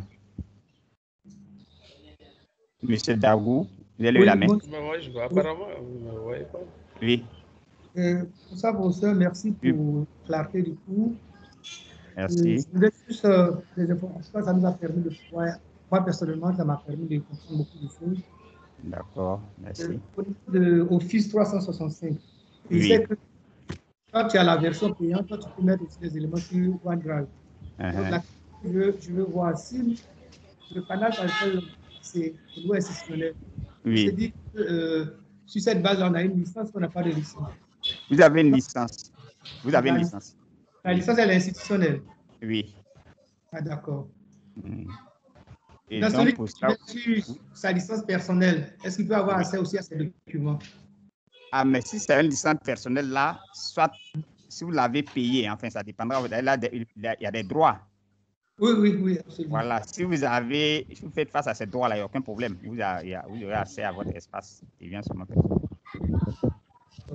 Mais seulement ici, ce qu'on dit, c'est que le mail institutionnel, c'est comme l'université a, Oui. a- a- a- a acheté des licences pour tout le monde, en fait. Ok. Voilà, donc c'est pourquoi le fait d'avoir le mail vous donne droit à cette licence-là. Donc, ça fait que chacun a droit à 1 téraoctet. Chacun, chacun de nous a droit à 1000 gigas. Mais l'autre élément, est-ce que ça veut. En dehors de ça, on peut Oui. utiliser Office seulement en ligne? Oui, oui, bien sûr. C'est-à-dire, en fait, le mail, le, c'est, il est c'est un portail. Quand, quand, vous- quand vous, portal.office, c'est comme c'est le, le portail d'accès à, à Office. Maintenant, dans- quand vous entrez dans la cour d'office, donc il y, a, Off- il, y a, il y a Word, il y a Excel, il y a PowerPoint, et puis maintenant, évidemment, il y a Teams lui-même, et puis il y a OneDrive, il y a tout ça dedans. Voilà, c'est vous, qui décidez de ce que vous, euh, vous prenez dans, dans le panier, en fait, de l'office. Mais la licence vous donne droit à tout ça. Si je suis sur un ordinateur où il n'y a pas tous ces éléments-là, je n'ai pas à m'inquiéter. Je sais que si moi, je vais, je vais sur portable il y aurait Word, il y aurait Excel, même si la machine euh, initiale ne ne les a pas. C'est ça l'intérêt. En tout cas, merci infiniment. Vous avez donné lentement et ça nous a permis de progresser. Merci infiniment. Bon après-midi. Merci. Bon, avant de conclure, s'il n'y a pas de questions, je vais juste dire que quand on fait euh, une séance comme ça, voilà, c'est de la théorie, c'est vrai, maintenant qu'on suit. Mais après, voilà, quand on, après une séance comme ça, où on pense avoir compris beaucoup de choses, euh, l'idéal, c'est de mettre ça en pratique le plus rapidement possible. Voilà, pour pouvoir euh, effectivement euh, retenir les bonnes ces notions-là. Et donc, ce que on va faire juste après la séance, évidemment, la vidéo du cours sera disponible sur la même page. Peut-être d'ici le soir, elle sera disponible. La télécharger, elle sera là. Vous pourrez encore la révisionner pour voir certaines parties. Ensuite, je vais laisser un TP à faire, donc qui, qui va reprendre un peu toutes les notions qu'on a eu à voir aujourd'hui. Et donc, vous allez essayer, chacun, chacun à la maison, d'essayer de mettre ça en pratique, aller sur OneDrive, faire des choses, voilà. Essayez de faire ça, ce, ce, ce, TP-là. On appelle ça TP numéro 1. Et ce serait bien d'essayer de trouver euh, une heure ou bien 30 minutes ce soir-là pour faire ça, de sorte que demain, quand on se retrouve, il y ait déjà un feedback par rapport à ça. Quelqu'un peut dire, ah, mais hier, j'ai essayé d'installer mon OneDrive là, mais voilà le problème que moi j'ai eu. Ouais, là, on a le temps d'évacuer tout ça avant de continuer. Donc, le TP sera disponible dans quelques minutes à l'heure. Dès qu'on finit, je, vais le mettre à, le mets en ligne, donc vous aurez le TP. Il y a une série de questions, mais relatives à tout ce qu'on a fait. Pour essayer de mettre en pratique tout ce qu'on a vu ce soir-là. Donc, d'ici demain, en ce moment, quand on se retrouve, on peut encore revenir sur certains aspects. Là, ça devient personnel. Chacun peut dire, mais moi, j'ai fait, mais voilà où moi, j'ai le problème. Et donc, ça devient comme un acquis. Mais ouais, mais si on continue comme ça, bon, dans un mois, deux mois, vous verrez que ça va être difficile de revenir sur certaines choses. Voilà, donc je vais mettre un TP tout à l'heure en ligne, euh, euh, comme si comme le devoir. Donc, ça sera dans l'op- dans l'option devoir. Voilà, et donc, c'est juste des, trucs pratiques, ce n'est pas des trucs écrits, mais c'est des trucs à exécuter. Voilà, reprendre les différentes tâches qu'on a eu à voir, c'est un peu comme un résumé. Si vous arrivez à faire toutes ces tâches, ça voudrait dire que vous avez compris parfaitement tout ce qu'on a fait aujourd'hui. Voilà, donc, euh, s'il n'y a pas autre préoccupation, il est 16h, 1 minute. Je vais vous dire encore merci. Euh, Les, les- les- les invités auront accès à ce TP. euh, c'est ce, que- je vais vérifier. Vérifier, Ah, vérifier oui, c'est ce que je vais vérifier. Parce qu'en principe, en, euh, je vais vérifier. Puisque en, en tant qu'invité, vous, donc vous n'avez pas accédé à la plateforme, vous n'avez pas connecter à sur Teams, c'est ce que ça veut dire. Oui, c'est ce- par là que je suis passé. Et puis, il y a eu tous les soucis. D'accord, d'accord. Peut-être qu'il y a eu dans ma Je boîte. Et D'accord. Je- je vais vérifier. Dans le cas contraire, il y a envoyé un lien. Je vais vous envoyer des liens aussi pour que les invités puissent avoir accès au TP. D'accord. OK. Il y Merci. envoyé un lien. Hmm. Donc, vraiment, merci. Bonne soirée à tous. Portez-vous bien et à demain. Merci au revoir et à demain. Merci. Bonne soirée à tous. Au revoir.